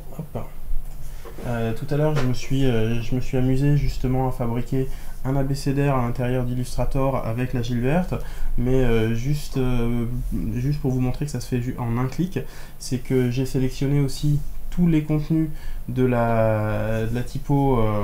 ici, c'est de la Abelone qui a été designée par Maria Grönlund, donc qui est une excellente utilisatrice de tout ce qui est couleur et transparence, et ça me prend rien du tout de changer de typo. Alors je sais que j'en ai rajouté trois seulement. J'ai la Gilbert, j'ai la Abelone et je dois avoir la Playbox. Et euh, on, est dans, on est dans InDesign et on est en train de travailler avec la typo en couleur. Donc oui, c'est possible. Euh, oui, on peut se faire plaisir. Et si vous avez envie de jouer avec nous, ce qui me ferait très plaisir aussi, j'ai commencé à rassembler en fait les premières soumissions par rapport, à, par rapport au contenu. Et un petit peu comme un calendrier de l'avant où on en ouvrira une chaque jour jusque, jusque Noël. Euh, j'aimerais bien euh, bah, continuer à recevoir en fait vos designs, vos caractères, que vous puissiez bah, participer avec nous, nous montrer ce que vous êtes en train de faire. C'est pas, pas, besoin de nous envoyer tout de suite tout un alphabet. si vous m'envoyez juste les cases qui manquent dans ce, dans ce petit contenu, sur, que ce soit sur la, sur la page YouTube, hein, il y a le lien vers le, vers le petit site, et comme ça je reçois tout, on échange, etc. Ben, je vous donnerai un peu le complément de tout ça. Il y, aura un, il y aura un suivi sur Instagram et sur Twitter pour que vous puissiez voir le contenu. En attendant, ben voilà, on a déjà nos petits posters qui sont prêts. Euh, et, puis, euh, et puis ceux qui sont vraiment cool, on pourra euh, peut-être voir si on a des cadeaux, des choses à vous envoyer, des choses physiques, un petit peu avant Noël. Voilà, donc dès que j'ai fini les, les 26 caractères, hop, promis, on se, fait, euh, on se fait un vrai cadeau qui sera pas que de la notoriété, qui sera pas juste du lien. Tous les gens qui auront participé euh, verront dans la page YouTube, dans la description, le lien vers leur projet, leur portfolio, en tout cas le réseau social sur lequel ils ont envie d'être euh, contactés. puis voilà, je pense qu'on est déjà pas mal sur tout ça. Merci beaucoup, Franz. Merci, Franck. Et merci à tous d'être restés jusqu'à maintenant. C'est ça, d'avoir supporté, le, supporté la coupure de, de réseau au milieu. Et rendez-vous compte, vous avez passé une heure et demie en parlant que de typo, quoi. Ce qui, oh, bah, ce qui, ce qui, arrive, ce qui arrive à, certains d'entre nous, quand même. je, je, je, t'avoue que c'est pas un truc qui nous fait euh, vraiment peur. Donc bah, rendez-vous une prochaine fois. Ça marche, merci. Euh, et puis euh, bonne merci à tous de nous avoir suivis. À très bientôt. Au revoir. À bientôt.